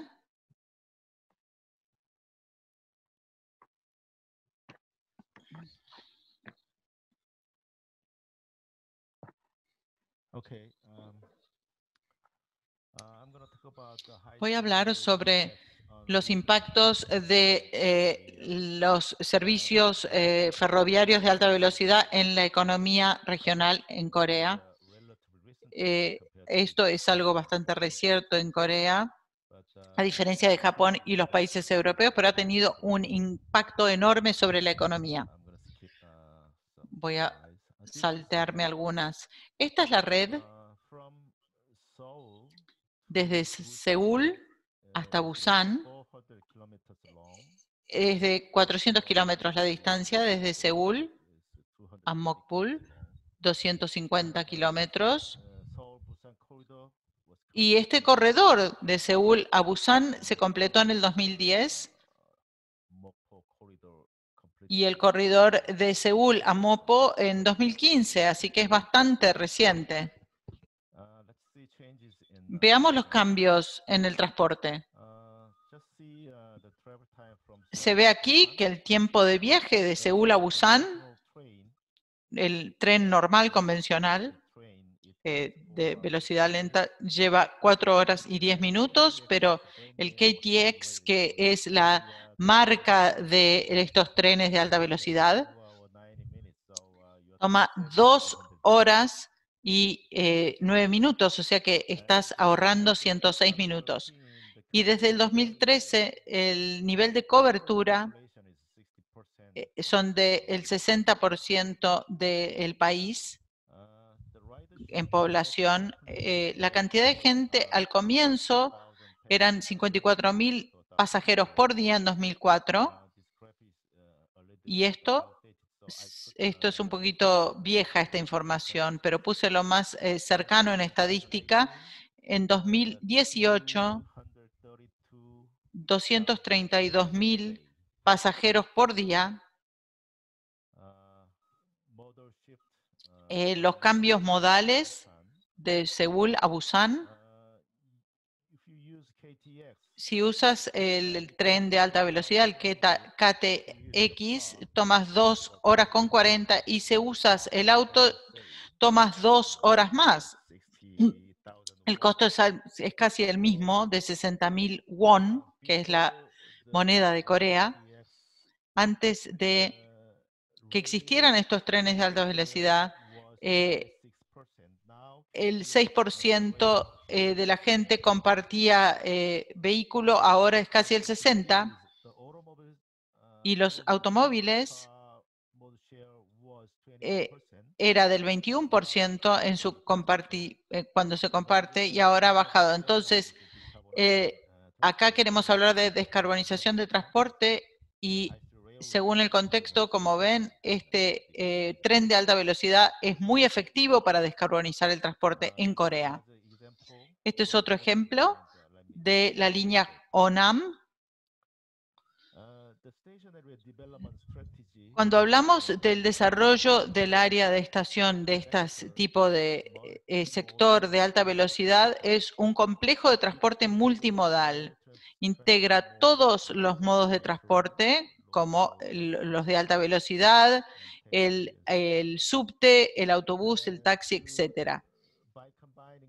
Y al combinar todos estos modos, se puede tener un aumento en el tráfico local y de intraciudad, y eso puede dar más oportunidades comerciales. Tenemos cuatro eh, estaciones piloto, Daegu estación en 2016, la estación de Ulsan, Gwangju e Iksa están en planificación. Veamos la estación de Dongdaegu. Eh, gastamos un mil millones de dólares. Lo hizo Shin Segae, que es el el negocio más grande de, de compras, de, de ventas, de, de centros comercial en Corea.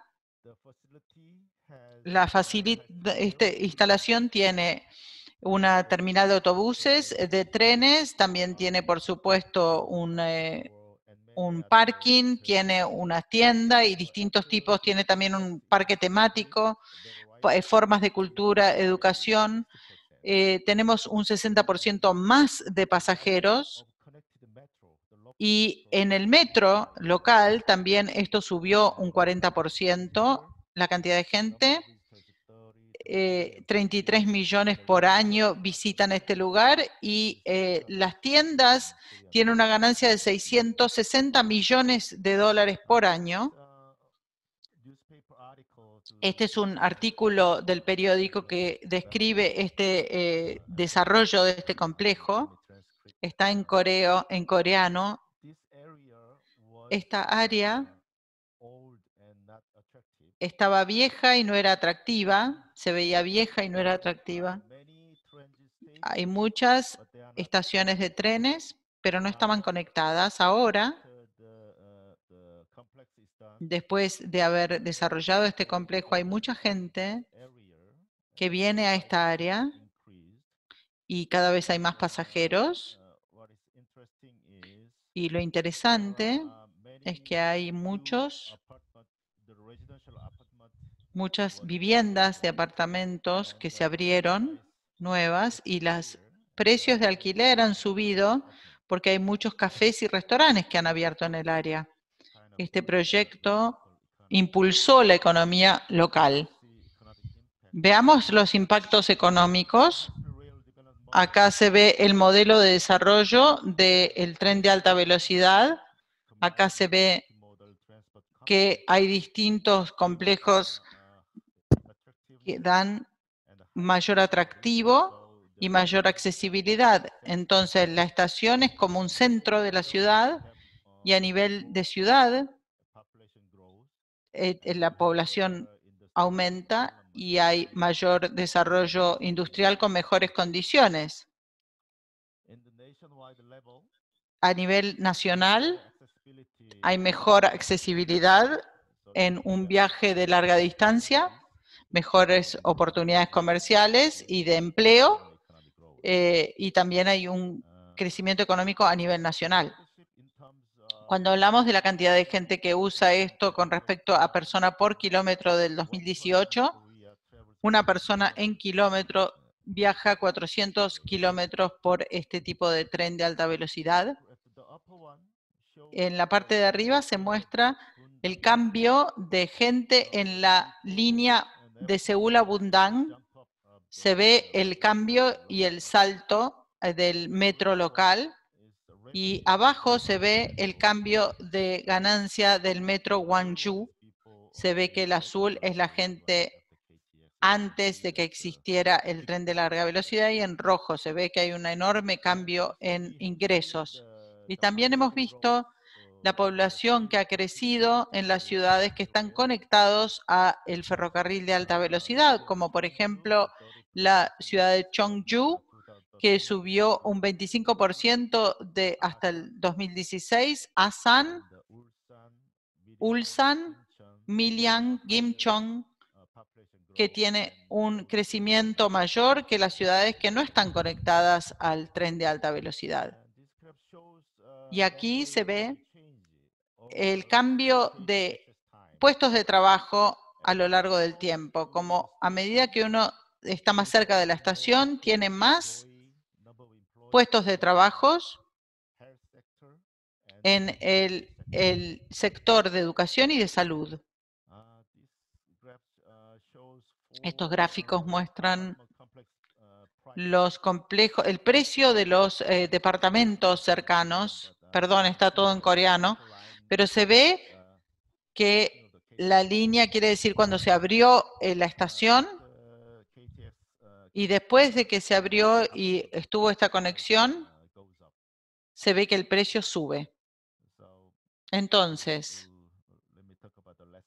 quiero hablar de las lecciones que hemos aprendido eh, eh, ha tenido un impacto positivo en la economía regional en cuanto a ingresos, empleo, precio de la tierra y han subido la cantidad de pasajeros en estos transportes. Cuantos más pasajeros y visit- visitantes que dan nuevas oportunidades comerciales y como se ve, las estaciones, el desarrollo de las estaciones es muy importante, es fundamental para el éxito de este tipo de proyectos. Y hay, por supuesto, muchos obstáculos de coordinación entre las distintas regulaciones y los actores y muchas cosas que hay que llegar a acuerdos. Se necesita negociaciones difíciles entre los distintos actores para poder hacer este proyecto de desarrollo de estaciones. Hay que crear, crea- hay que tener creatividad para poder lograr a un buen acuerdo y a ver cómo se comparte el riesgo y las ganancias entre los inversores públicos y privados. El liderazgo local es muy importante porque los beneficios del área de estación tiene un beneficio muy grande para la ciudad. O sea que el coordinador eh, tiene que ser la ciudad. Eh, este tipo de complejos fueron eh, posibles gracias al liderazgo de la ciudad. Eh, antes teníamos tres otras estaciones de proyectos que estamos eh, planificando hace como 10 años, pero no pudimos llegar a algo, a un acuerdo entre las partes. Es difícil hacer un proyecto. Lo más importante como factor es el liderazgo a nivel gubernamental local. Y este es el final de mi presentación. Muchas gracias. Muchísimas gracias, eh, por tu presentación. Em, la verdad que es muy interesante ver el caso del desarrollo de los trenes de alta velocidad. De hecho, en Argentina, años atrás, se discutió la posibilidad de desarrollar ese tipo de, de modo de transporte entre algunas ciudades estratégicas eh, y, ha siempre sido un tema muy controversial, justamente por las dificultades que, mencionabas recién sobre las distintas eh, perspectivas y, y los desafíos de la articulación de ese tipo de, de procesos. Con esto, mm, bueno, antes que de continuar a las preguntas, creo que es importante agradecerles a todos los panelistas por sus exposiciones. Ha sido, la verdad, muy grato eh, escucharlos y, y eh, aprender un poco de las experiencias y el conocimiento que ustedes han traído. Hemos recibido varias preguntas y comentarios eh, durante la sesión, así que voy a tratar de atender a la mayor, a las principales consultas y a las reflexiones que han, que han hecho los participantes, tratando de, de bueno, hacer justicia al tiempo que tenemos eh, y poder atender la mayor cantidad de puntos. Con esto voy a pasar eh, a una primera pregunta que tenía para, eh, para, para TS, para Lutexun, respecto a, comentabas un poco la experiencia que, que, ha tenido Singapur en todo este proceso de planificación que ya lleva varias décadas, y lo que me preguntaba, y creo que es importante aprender, es eh, un poco de cómo ha sido el proceso en términos de la gobernanza y los procesos de toma de decisión eh, y de articulación entre los distintos, eh, digamos, organismos o agencias que participaron, entendiendo esto que comentabas de poder eh, articular los dos objetivos que hay en términos de desarrollo territorial y en términos de transporte y en términos de los beneficios que esto generaba.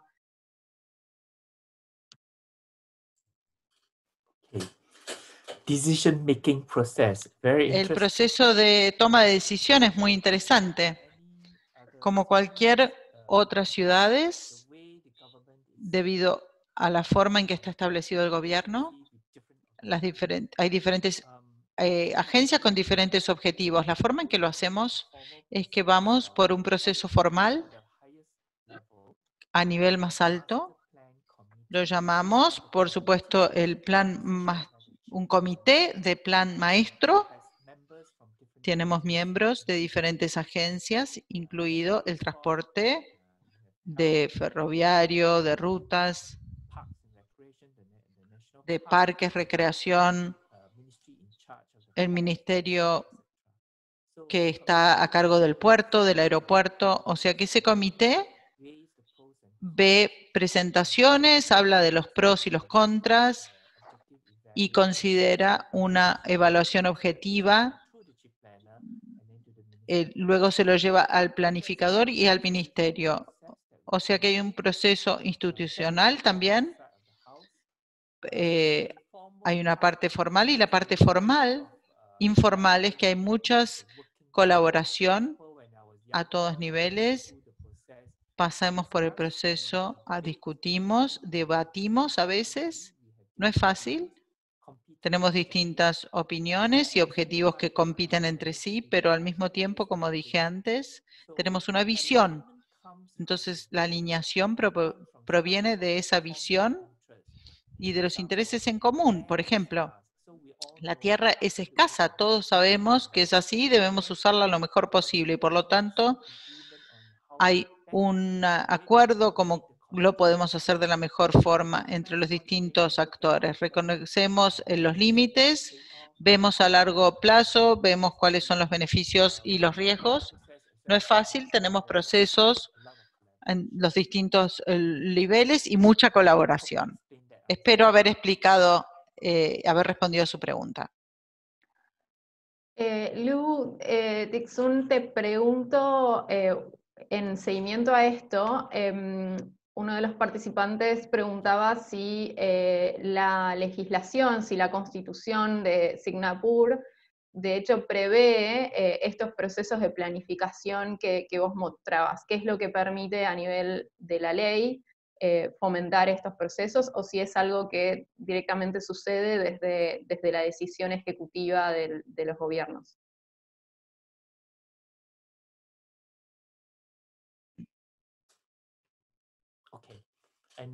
Yes, it is by in the legislation. En la legislación, muchos de los poderes legislativos de la agencia ya está dado por el Parlamento, pero en la ejecución, la autoridad de transporte, tenemos algunos poderes para hacer reglas, eh, medidas de control, podemos implementar ciertos esquemas tenemos el poder de hacer eso.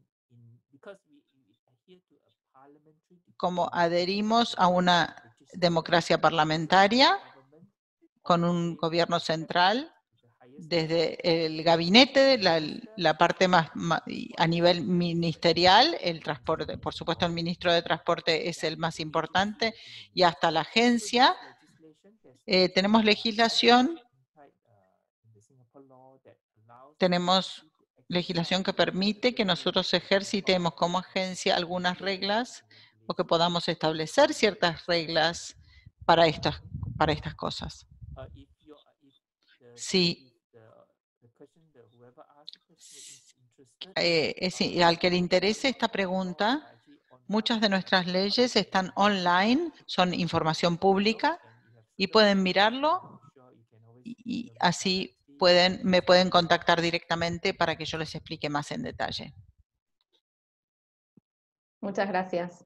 Voy a continuar con algo un poco relacionado a, esta pregunta sobre la gobernanza y es, em, es una pregunta para Agustina.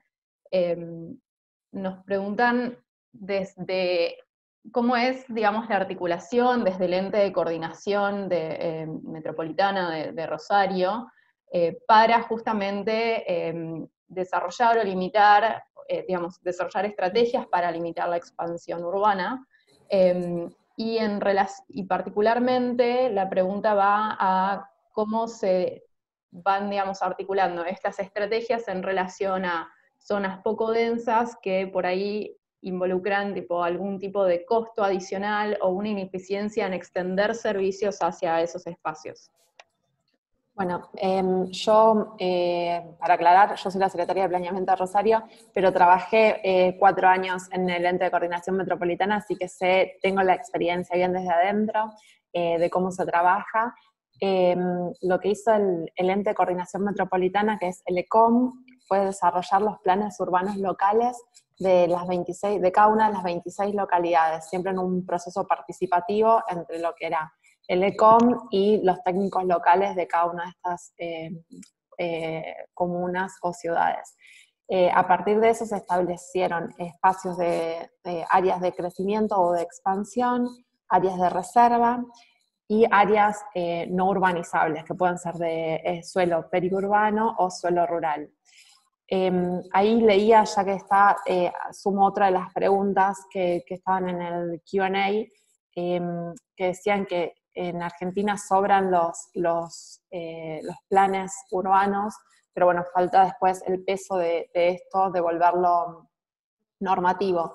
Y esa es la realidad. Después se necesita eh, transformarlo en ordenanzas locales y eh, sobre todo una, una, postura política fuerte y mantenida en, en, distintas gestiones, sobre todo en las comunas que tienen gestiones de dos años, cada dos años se cambia el, presidente comunal, se necesita una, una, decisión política sostenida a través de los años de mantener esto eh, con fuerza.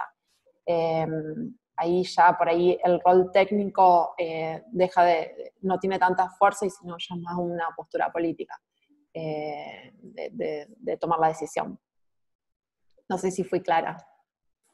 No, sí, claro. Em, y aprovecho para hacer una pregunta de seguimiento a esto que vos bien tomabas parte de esa pregunta recién, eh, que tiene que ver también con algo que nos preguntaron en una sesión, eh, en sesiones anteriores, que tiene que ver con, em, digamos, cómo se aborda un poco el desarrollo particular que hay entre los intersticios, entre las rutas o las vías ferroviarias, que o son espacios donde se generan barrios cerrados, con poca conectividad y que no tienen por ahí eh, como esa mm, eh, organicidad con el resto de la ciudad, o al revés, que son espacios vacantes que, que carecen de uso y que su valor está siendo de alguna manera desperdiciado, ¿no?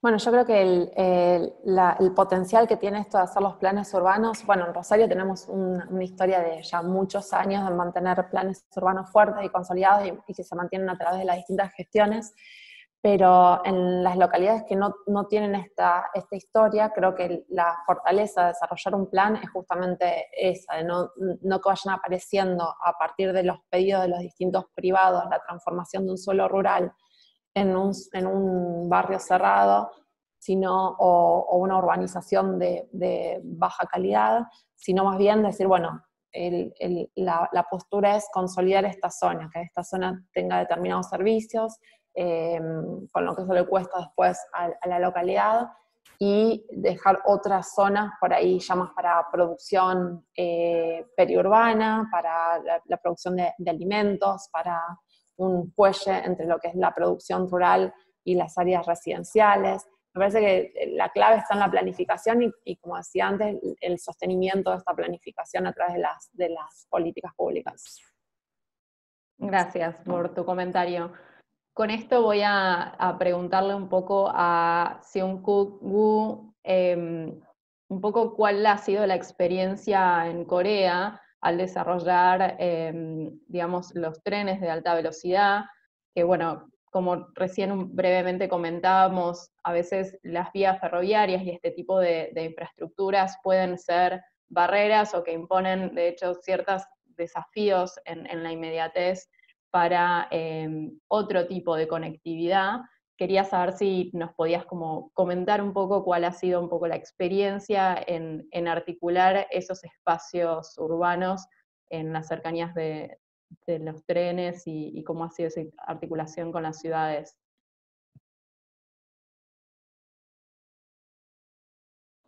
Okay. Um, uh, in, many metropolitan cities in en muchas áreas metropolitanas de Corea, la estación, son viejas las estaciones y los operadores de los ferrocarriles, que es Corail, eh, tienen el espacio que lo usan. Normalmente hay como una plaza grande en estas estaciones y Después la estación, cuando se transforma en una estación de alta velocidad, el operario de ferroviario se queda con la tierra y los inversores privados dan el dinero para construir. Si están de acuerdo con el desarrollo, las ciudades tienen un complejo multimodal que eh, muchas veces tiene un eh, centro comercial, es muy bueno para las ciudades. La dificultad es la siguiente. El desarrollador, el que da el dinero, quiere tener más facilidades dentro del edificio, como por ejemplo cines, muchas tiendas, pero la ciudad quiere regular. Si hay tantas gente que viene al edificio, es muy difícil. Entonces el inversor quiere más espacio, pero la ciudad quiere regularlo. Es una diferencia grande en intereses, entonces hay que coordinarlo para esa parte. ¿Eso responde a tu pregunta? Brevemente sí, creo que, es realmente resaltas que hay intereses eh, contrapuestos por distintos actores. Em, en ese sentido, creo que venimos reforzando un poco este mensaje del que el mayor desafío en este, en este tema es la articulación y el trabajo conjunto para desarrollar planes, eh, digamos, ya sea estratégicos, de desarrollo del transporte o de desarrollo del territorio, que tomen en consideración esta integralidad y la relación entre, entre los distintos factores.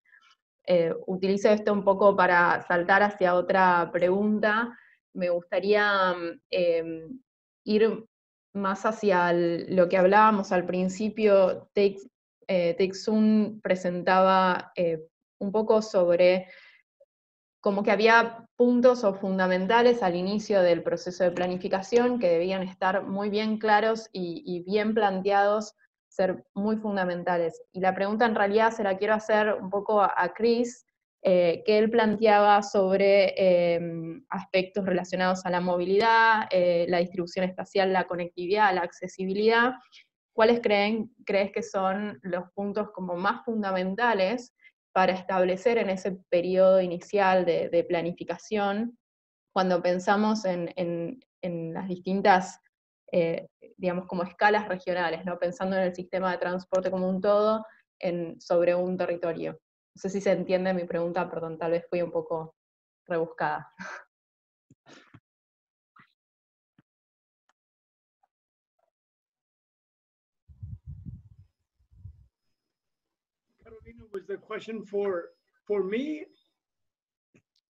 ¿La pregunta fue para mí, Carolina?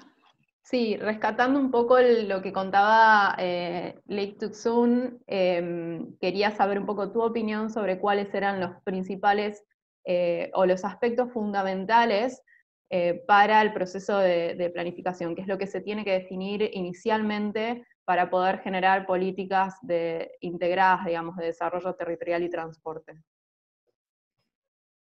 Um, I, think that, Me parece que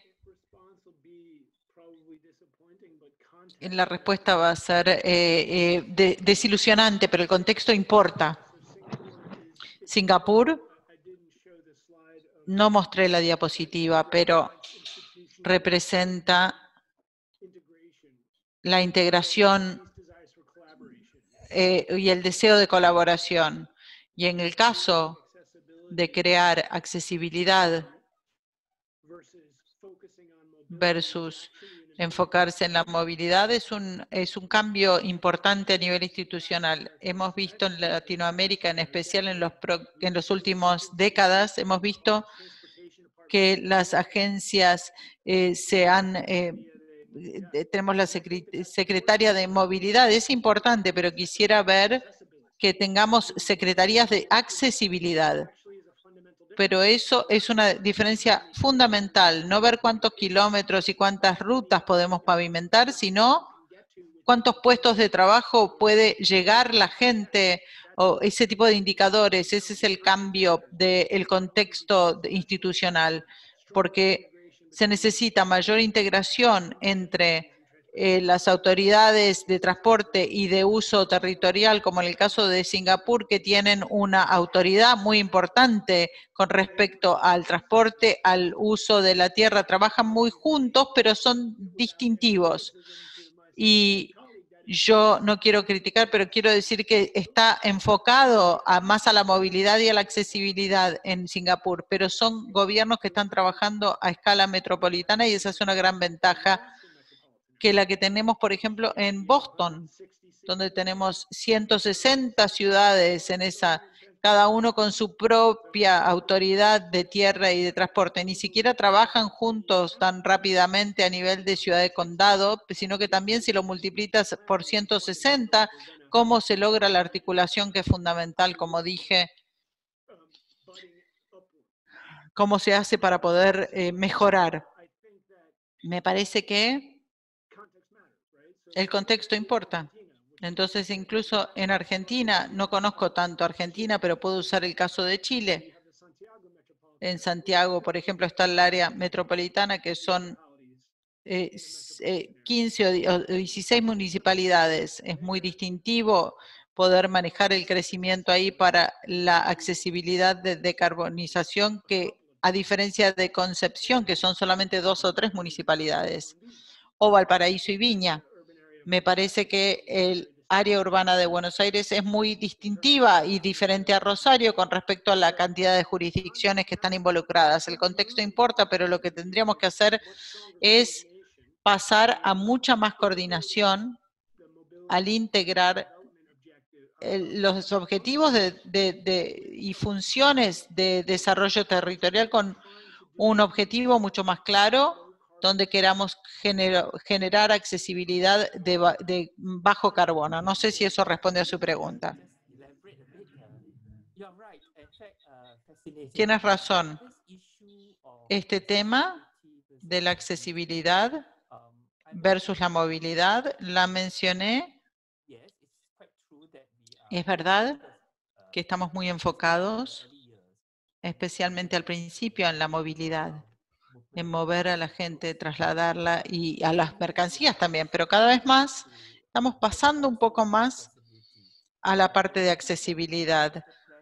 El último plan maestro de 2014 habla de eh, ciudades de 20 minutos. Sigue hablando de la movilidad, pero tenemos otros indicadores en ese plan que dice cómo eh, tener en la vivienda o el acceso al transporte público, etcétera. Está cambiando, estamos moviéndonos más hacia la accesibilidad y mirando la intensificación, los centros, etcétera. Pero tienes razón, Chris tiene razón, antes estábamos más enfocados a la movilidad, eh, todavía, porque sé lo que eso significa, pero cada vez más estamos pasando a la accesibilidad quería decir eso. Espero que esto, estoy de acuerdo, el contexto es muy importante.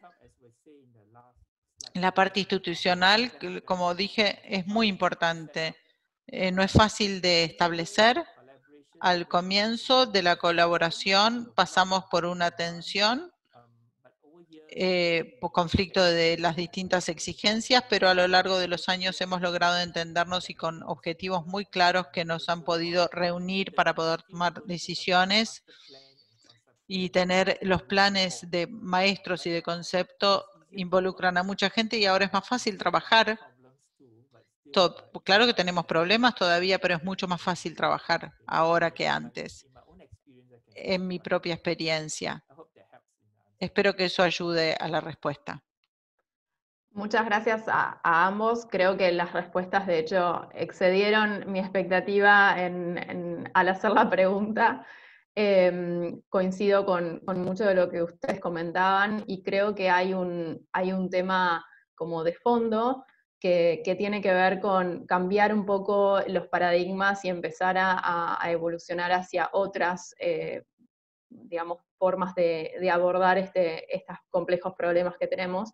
creo que eso me lleva a una pregunta que, quisiera hacerle a Marelia sobre em, cómo, cómo, se, cómo piensas que, se podría realizar estos cambios de paradigma en relación eh, ya a lo que tiene que ver con el comercio internacional y el tráfico interregional en, tratar de cambiar hacia, en vez de una competencia entre los países por ciertos tráficos, en, por ejemplo, portuarios, sino a que empiecen a considerar una complementariedad de estos flujos.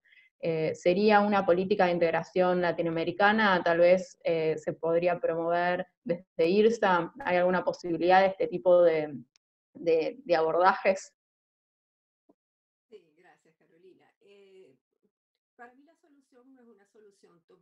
Uno, yo pienso que cualquier cosa que uno diga es una política regional y de alguna manera vamos a imponerla a los países, eso se va a enfrentar contra un muro de fracaso, ¿no? Porque, porque las cosas en la práctica no funcionan así, ¿no? Em, em, veamos, en algún momento en América Central, que es una región mucho más pequeña, se pensó que con los planes que estábamos haciendo, de alguna manera íbamos a decir, a este, este este puerto va, especial, este país va a especializarse en estas cosas, este va a ser el, el, puerto que va a concentrar los flujos de la región, este no. Y en la práctica eso no funciona porque eso uno no le va a negar los sueños a los países. digamos, piensa en el caso de Singapur. Hace unos años Singapur, no hace unas décadas, uno no pensaba que Singapur iba a llegar lo que iba a ser ahorita. Y es lo que yo le digo a los países siempre. O sea, ustedes no pueden negarse el sueño de decir, nos organizamos, logramos organizarnos internamente y vamos a generar una oferta que es valorada por los clientes y que como es valorada por esos usuarios, entonces eso agarra fuerza y va creciendo, ¿no? Eh, más bien, yo diría que el enfoque es de abajo hacia arriba, o sea, eh, no todos los países son iguales, o sea, siempre va a haber un punto de diferenciación y es un poco lo que yo trato de analizar cuando trabajo con los países, ¿no? Eh, los países han tendido a competir eh, específicamente en esta pregunta que se hace sobre el tema portuario, en el transporte marítimo y los servicios auxiliares. Y se han olvidado en los servicios, de los servicios de valor agregado, ¿no? los flujos en los países, los flujos portuarios no son idénticos. Eso va a depender de la estructura del hinterland. Si el hinterland tiene una composición más grande de ciertos productos, por ejemplo, perecederos, y otro tiene productos semiperecederos, más textiles, la posibilidad de especializarse e ir más, más a fondo en, esa, en esos servicios de valor agregado, que son de hecho los servicios que son capaces de generar empleo, porque los servicios auxiliares y los grandes servicios portuarios no generan empleo, digamos que esa es una, una preocupación de política complementaria, ¿no? Entonces, entendiendo eso, que uno, que uno va a lograr hacer políticas que tengan sentido. Lo estoy trabajando ahorita por Honduras, para dar un ejemplo. Honduras quería posicionarse como un hub. Eh, no, al final eh, tenemos un comité muy interesante que está conformado por los organismos del nivel central, las dos municipalidades más importantes de la, de, de la zona de influencia de Puerto Cortés, que es el puerto más importante del país, y el puerto de aguas profundas más importante después los de puertos de Panamá, y finalmente fue hacerles entender que a ellos no les interesaba posicionarse como hub, sino como gateway, que hay una diferencia sutil entre las dos cosas, ¿no? Y que, y que, que hub se lo dejaran a Panamá, se lo dejaran a la República Dominicana, aquellos países que están en el Triángulo del Caribe. Pero para los países como Honduras tienen inclusive un rol más interesante que cumplir porque es la puerta de entrada para, y de salida para productores guatemaltecos, salvadoreños, nicaragüenses, inclusive parte de México. Entonces, es entendiendo, ¿no? Es entendiendo qué es lo que, eh, o sea, cuáles son la naturaleza de esos flujos y qué requiere ese flujo como servicio adicional para posicionarse mejor, para que esos clientes puedan posicionarse mejor y que a su vez esos servicios de valor agregado son los que generen oportunidades de empleo y de diferenciación que uno va a lograr un, un, sistema más armónico a nivel, a nivel latinoamericano, más que estar con unas políticas eh, top-down diciendo, no, este, esto, este, este país es el que va a ser el, que, el puerto más importante, va a ser secundario, eso no va a funcionar. Eso no va a funcionar. Uno tiene, por ejemplo, los países de África del Oeste, que son países que compiten a muerte por capturar los flujos hacia el hinterland de los países enclavados. Y eso es muy sano porque esa competencia ha permitido que se desarrolle, que se modernicen las infraestructuras, que se, que se avance en la reforma de los procesos de comercio exterior, que, que avancen relativamente rápido en todo lo que es el acuerdo de facilitación del comercio. Es precisamente esa competencia que es relativamente sana. Entonces, mi conclusión para cerrar es eso, o sea, no, no lo veo como una política top-down, lo veo más como un entendimiento bien concreto, cómo se posiciona el país en la región y focalizarse el desarrollo de una gama de servicios que diferencien y que sean un verdadero aporte para los usuarios de, de ese puerto, más que en una competencia simple por servicios que, que tienen poco, poco diferenciación, como son los servicios marítimos y los servicios este, auxiliares. Muchas gracias, Marelia, por, por tu perspectiva. Em, eso me hace preguntar algo que, que, me gustaría en realidad volver un poco a, a, Chris, a hacerle una pregunta a él. Em, la pregunta está formulada más hacia, hacia por ahí un nivel un poco más bajo, no tan regional, pero em, si podrías como explicar un poquito más en detalle cómo crear eh, comunidades de bajo carbono pueden de alguna manera producir eh, comportamientos de bajo carbono. Em, me hace pensar un poco en, cómo, cuáles son como las cosas que, generan o, cuáles son los patrones o los aspectos que, pueden lograr eso, ¿no? Um,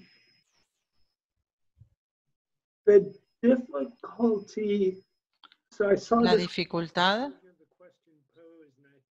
eh, a ver, ah, hubo una versión de esta pregunta con respecto a un gráfico que mostré que sugería que la causalidad no es evidente.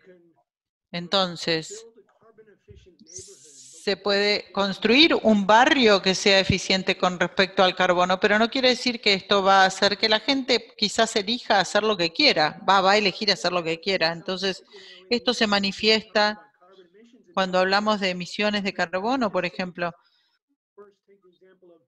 por ejemplo, el ejemplo de tratar de, eh, de cambiar las distintas conductas. Eh, uno construye ese, ese, barrio y lo que hace es ahorrarle tiempo a la gente, porque si uno eh, tiene esa ciudad de 15 minutos, como decíamos antes, ¿qué hace la gente con ese tiempo? Quizás lo que hace es irse más a, a, a Malasia los fines de semana eh, entonces, lo que hay que ver es estimar el tiempo y el dinero cuando uno habla de la atmósfera global. Eso no quiere decir que no sea bueno para la vida local, quizás sea bueno para la congestión local, etcétera, pero no necesariamente garantiza que haya bajo carbono. Solo limitar la parte de movilidad, luego hay que pensar como el carbono la atmósfera es el recurso más grande, yo puedo usarme a mí mismo como ejemplo, especialmente ahora. Yo tengo muy poca huella porque casi nunca me voy de mi casa debido a COVID en este momento. Sin embargo, sin embargo, pongo el aire acondicionado. Es un ejemplo no tan bueno, pero un buen ejemplo de lo que sucede cuando estoy en una vida normal, me voy en bicicleta. Es fácil, vivo en una ciudad muy, muy fácil, pero tengo una huella donde invierto eso para irme después a viajes de larga distancia. Entonces, si yo pudiera hacer una cosa para reducir la huella de carbono y permitir que los sistemas de transporte y de movilidad desarrollen, yo diría, lo que habría que hacer es grabar el carbono, habría que poner un impuesto y ahí cambiaría la cosa. Pero como no nos estamos moviendo agresivamente hacia ese lugar y me parece que hay que construir estructuras eficientes de carbono que no vamos a poder lograr lo que realmente queremos porque al final la gente puede elegir lo que hace y reinvertir sus ahorros y su tiempo como quieran. Espero que eso eh, sea claro. Es un tema muy difícil. Sí, eh, creo que coincido un poco con la complejidad que, que manifestas al, al, expresar este, este ejemplo, pero me hace pensar en, en muchos, eh, justamente cuáles son todos los trade-offs que tienen distintas estrategias y distintas formas de, de, ya sea de planificar o de, o de llevar adelante una, una política o un proyecto de, transporte, de infraestructura, de comercio, eh, de desarrollo urbano. Mm, pero bueno, estamos llegando al, al, final de nuestro panel. Lamentablemente hay, muchas preguntas que me gustaría seguir haciéndoles porque es un tema que a mí personalmente me fascina y creo que es súper interesante la discusión que estamos teniendo. Los voy a invitar a, los cinco panelistas eh, en el mismo orden en que presentaron a darme en muy pocas palabras eh, una oración o una frase que, crean que sea como un poco el mensaje clave tal vez a transmitir y en especial les diría transmitir hacia otros profesionales, hacia otros tomadores de decisión en el sector de transporte, que es lo que nos reúne en esta conferencia, eh, para poder como de alguna manera en, enfrentar estos grandes desafíos. Eh, solo una palabra así podemos terminar eh, en breve, así que Ties, si, si podés empezar vos.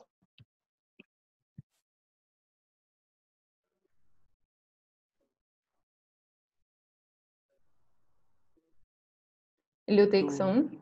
Sí. okay, was about. Okay, just I think I used that term. Me parece que usé el término. Lo, lo básico tiene que estar bien hecho. Eso es fácil para los profesionales. Muchas gracias. Eh, Agustina. Bueno, la importancia de la planificación en las distintas escalas. Gracias. Cris.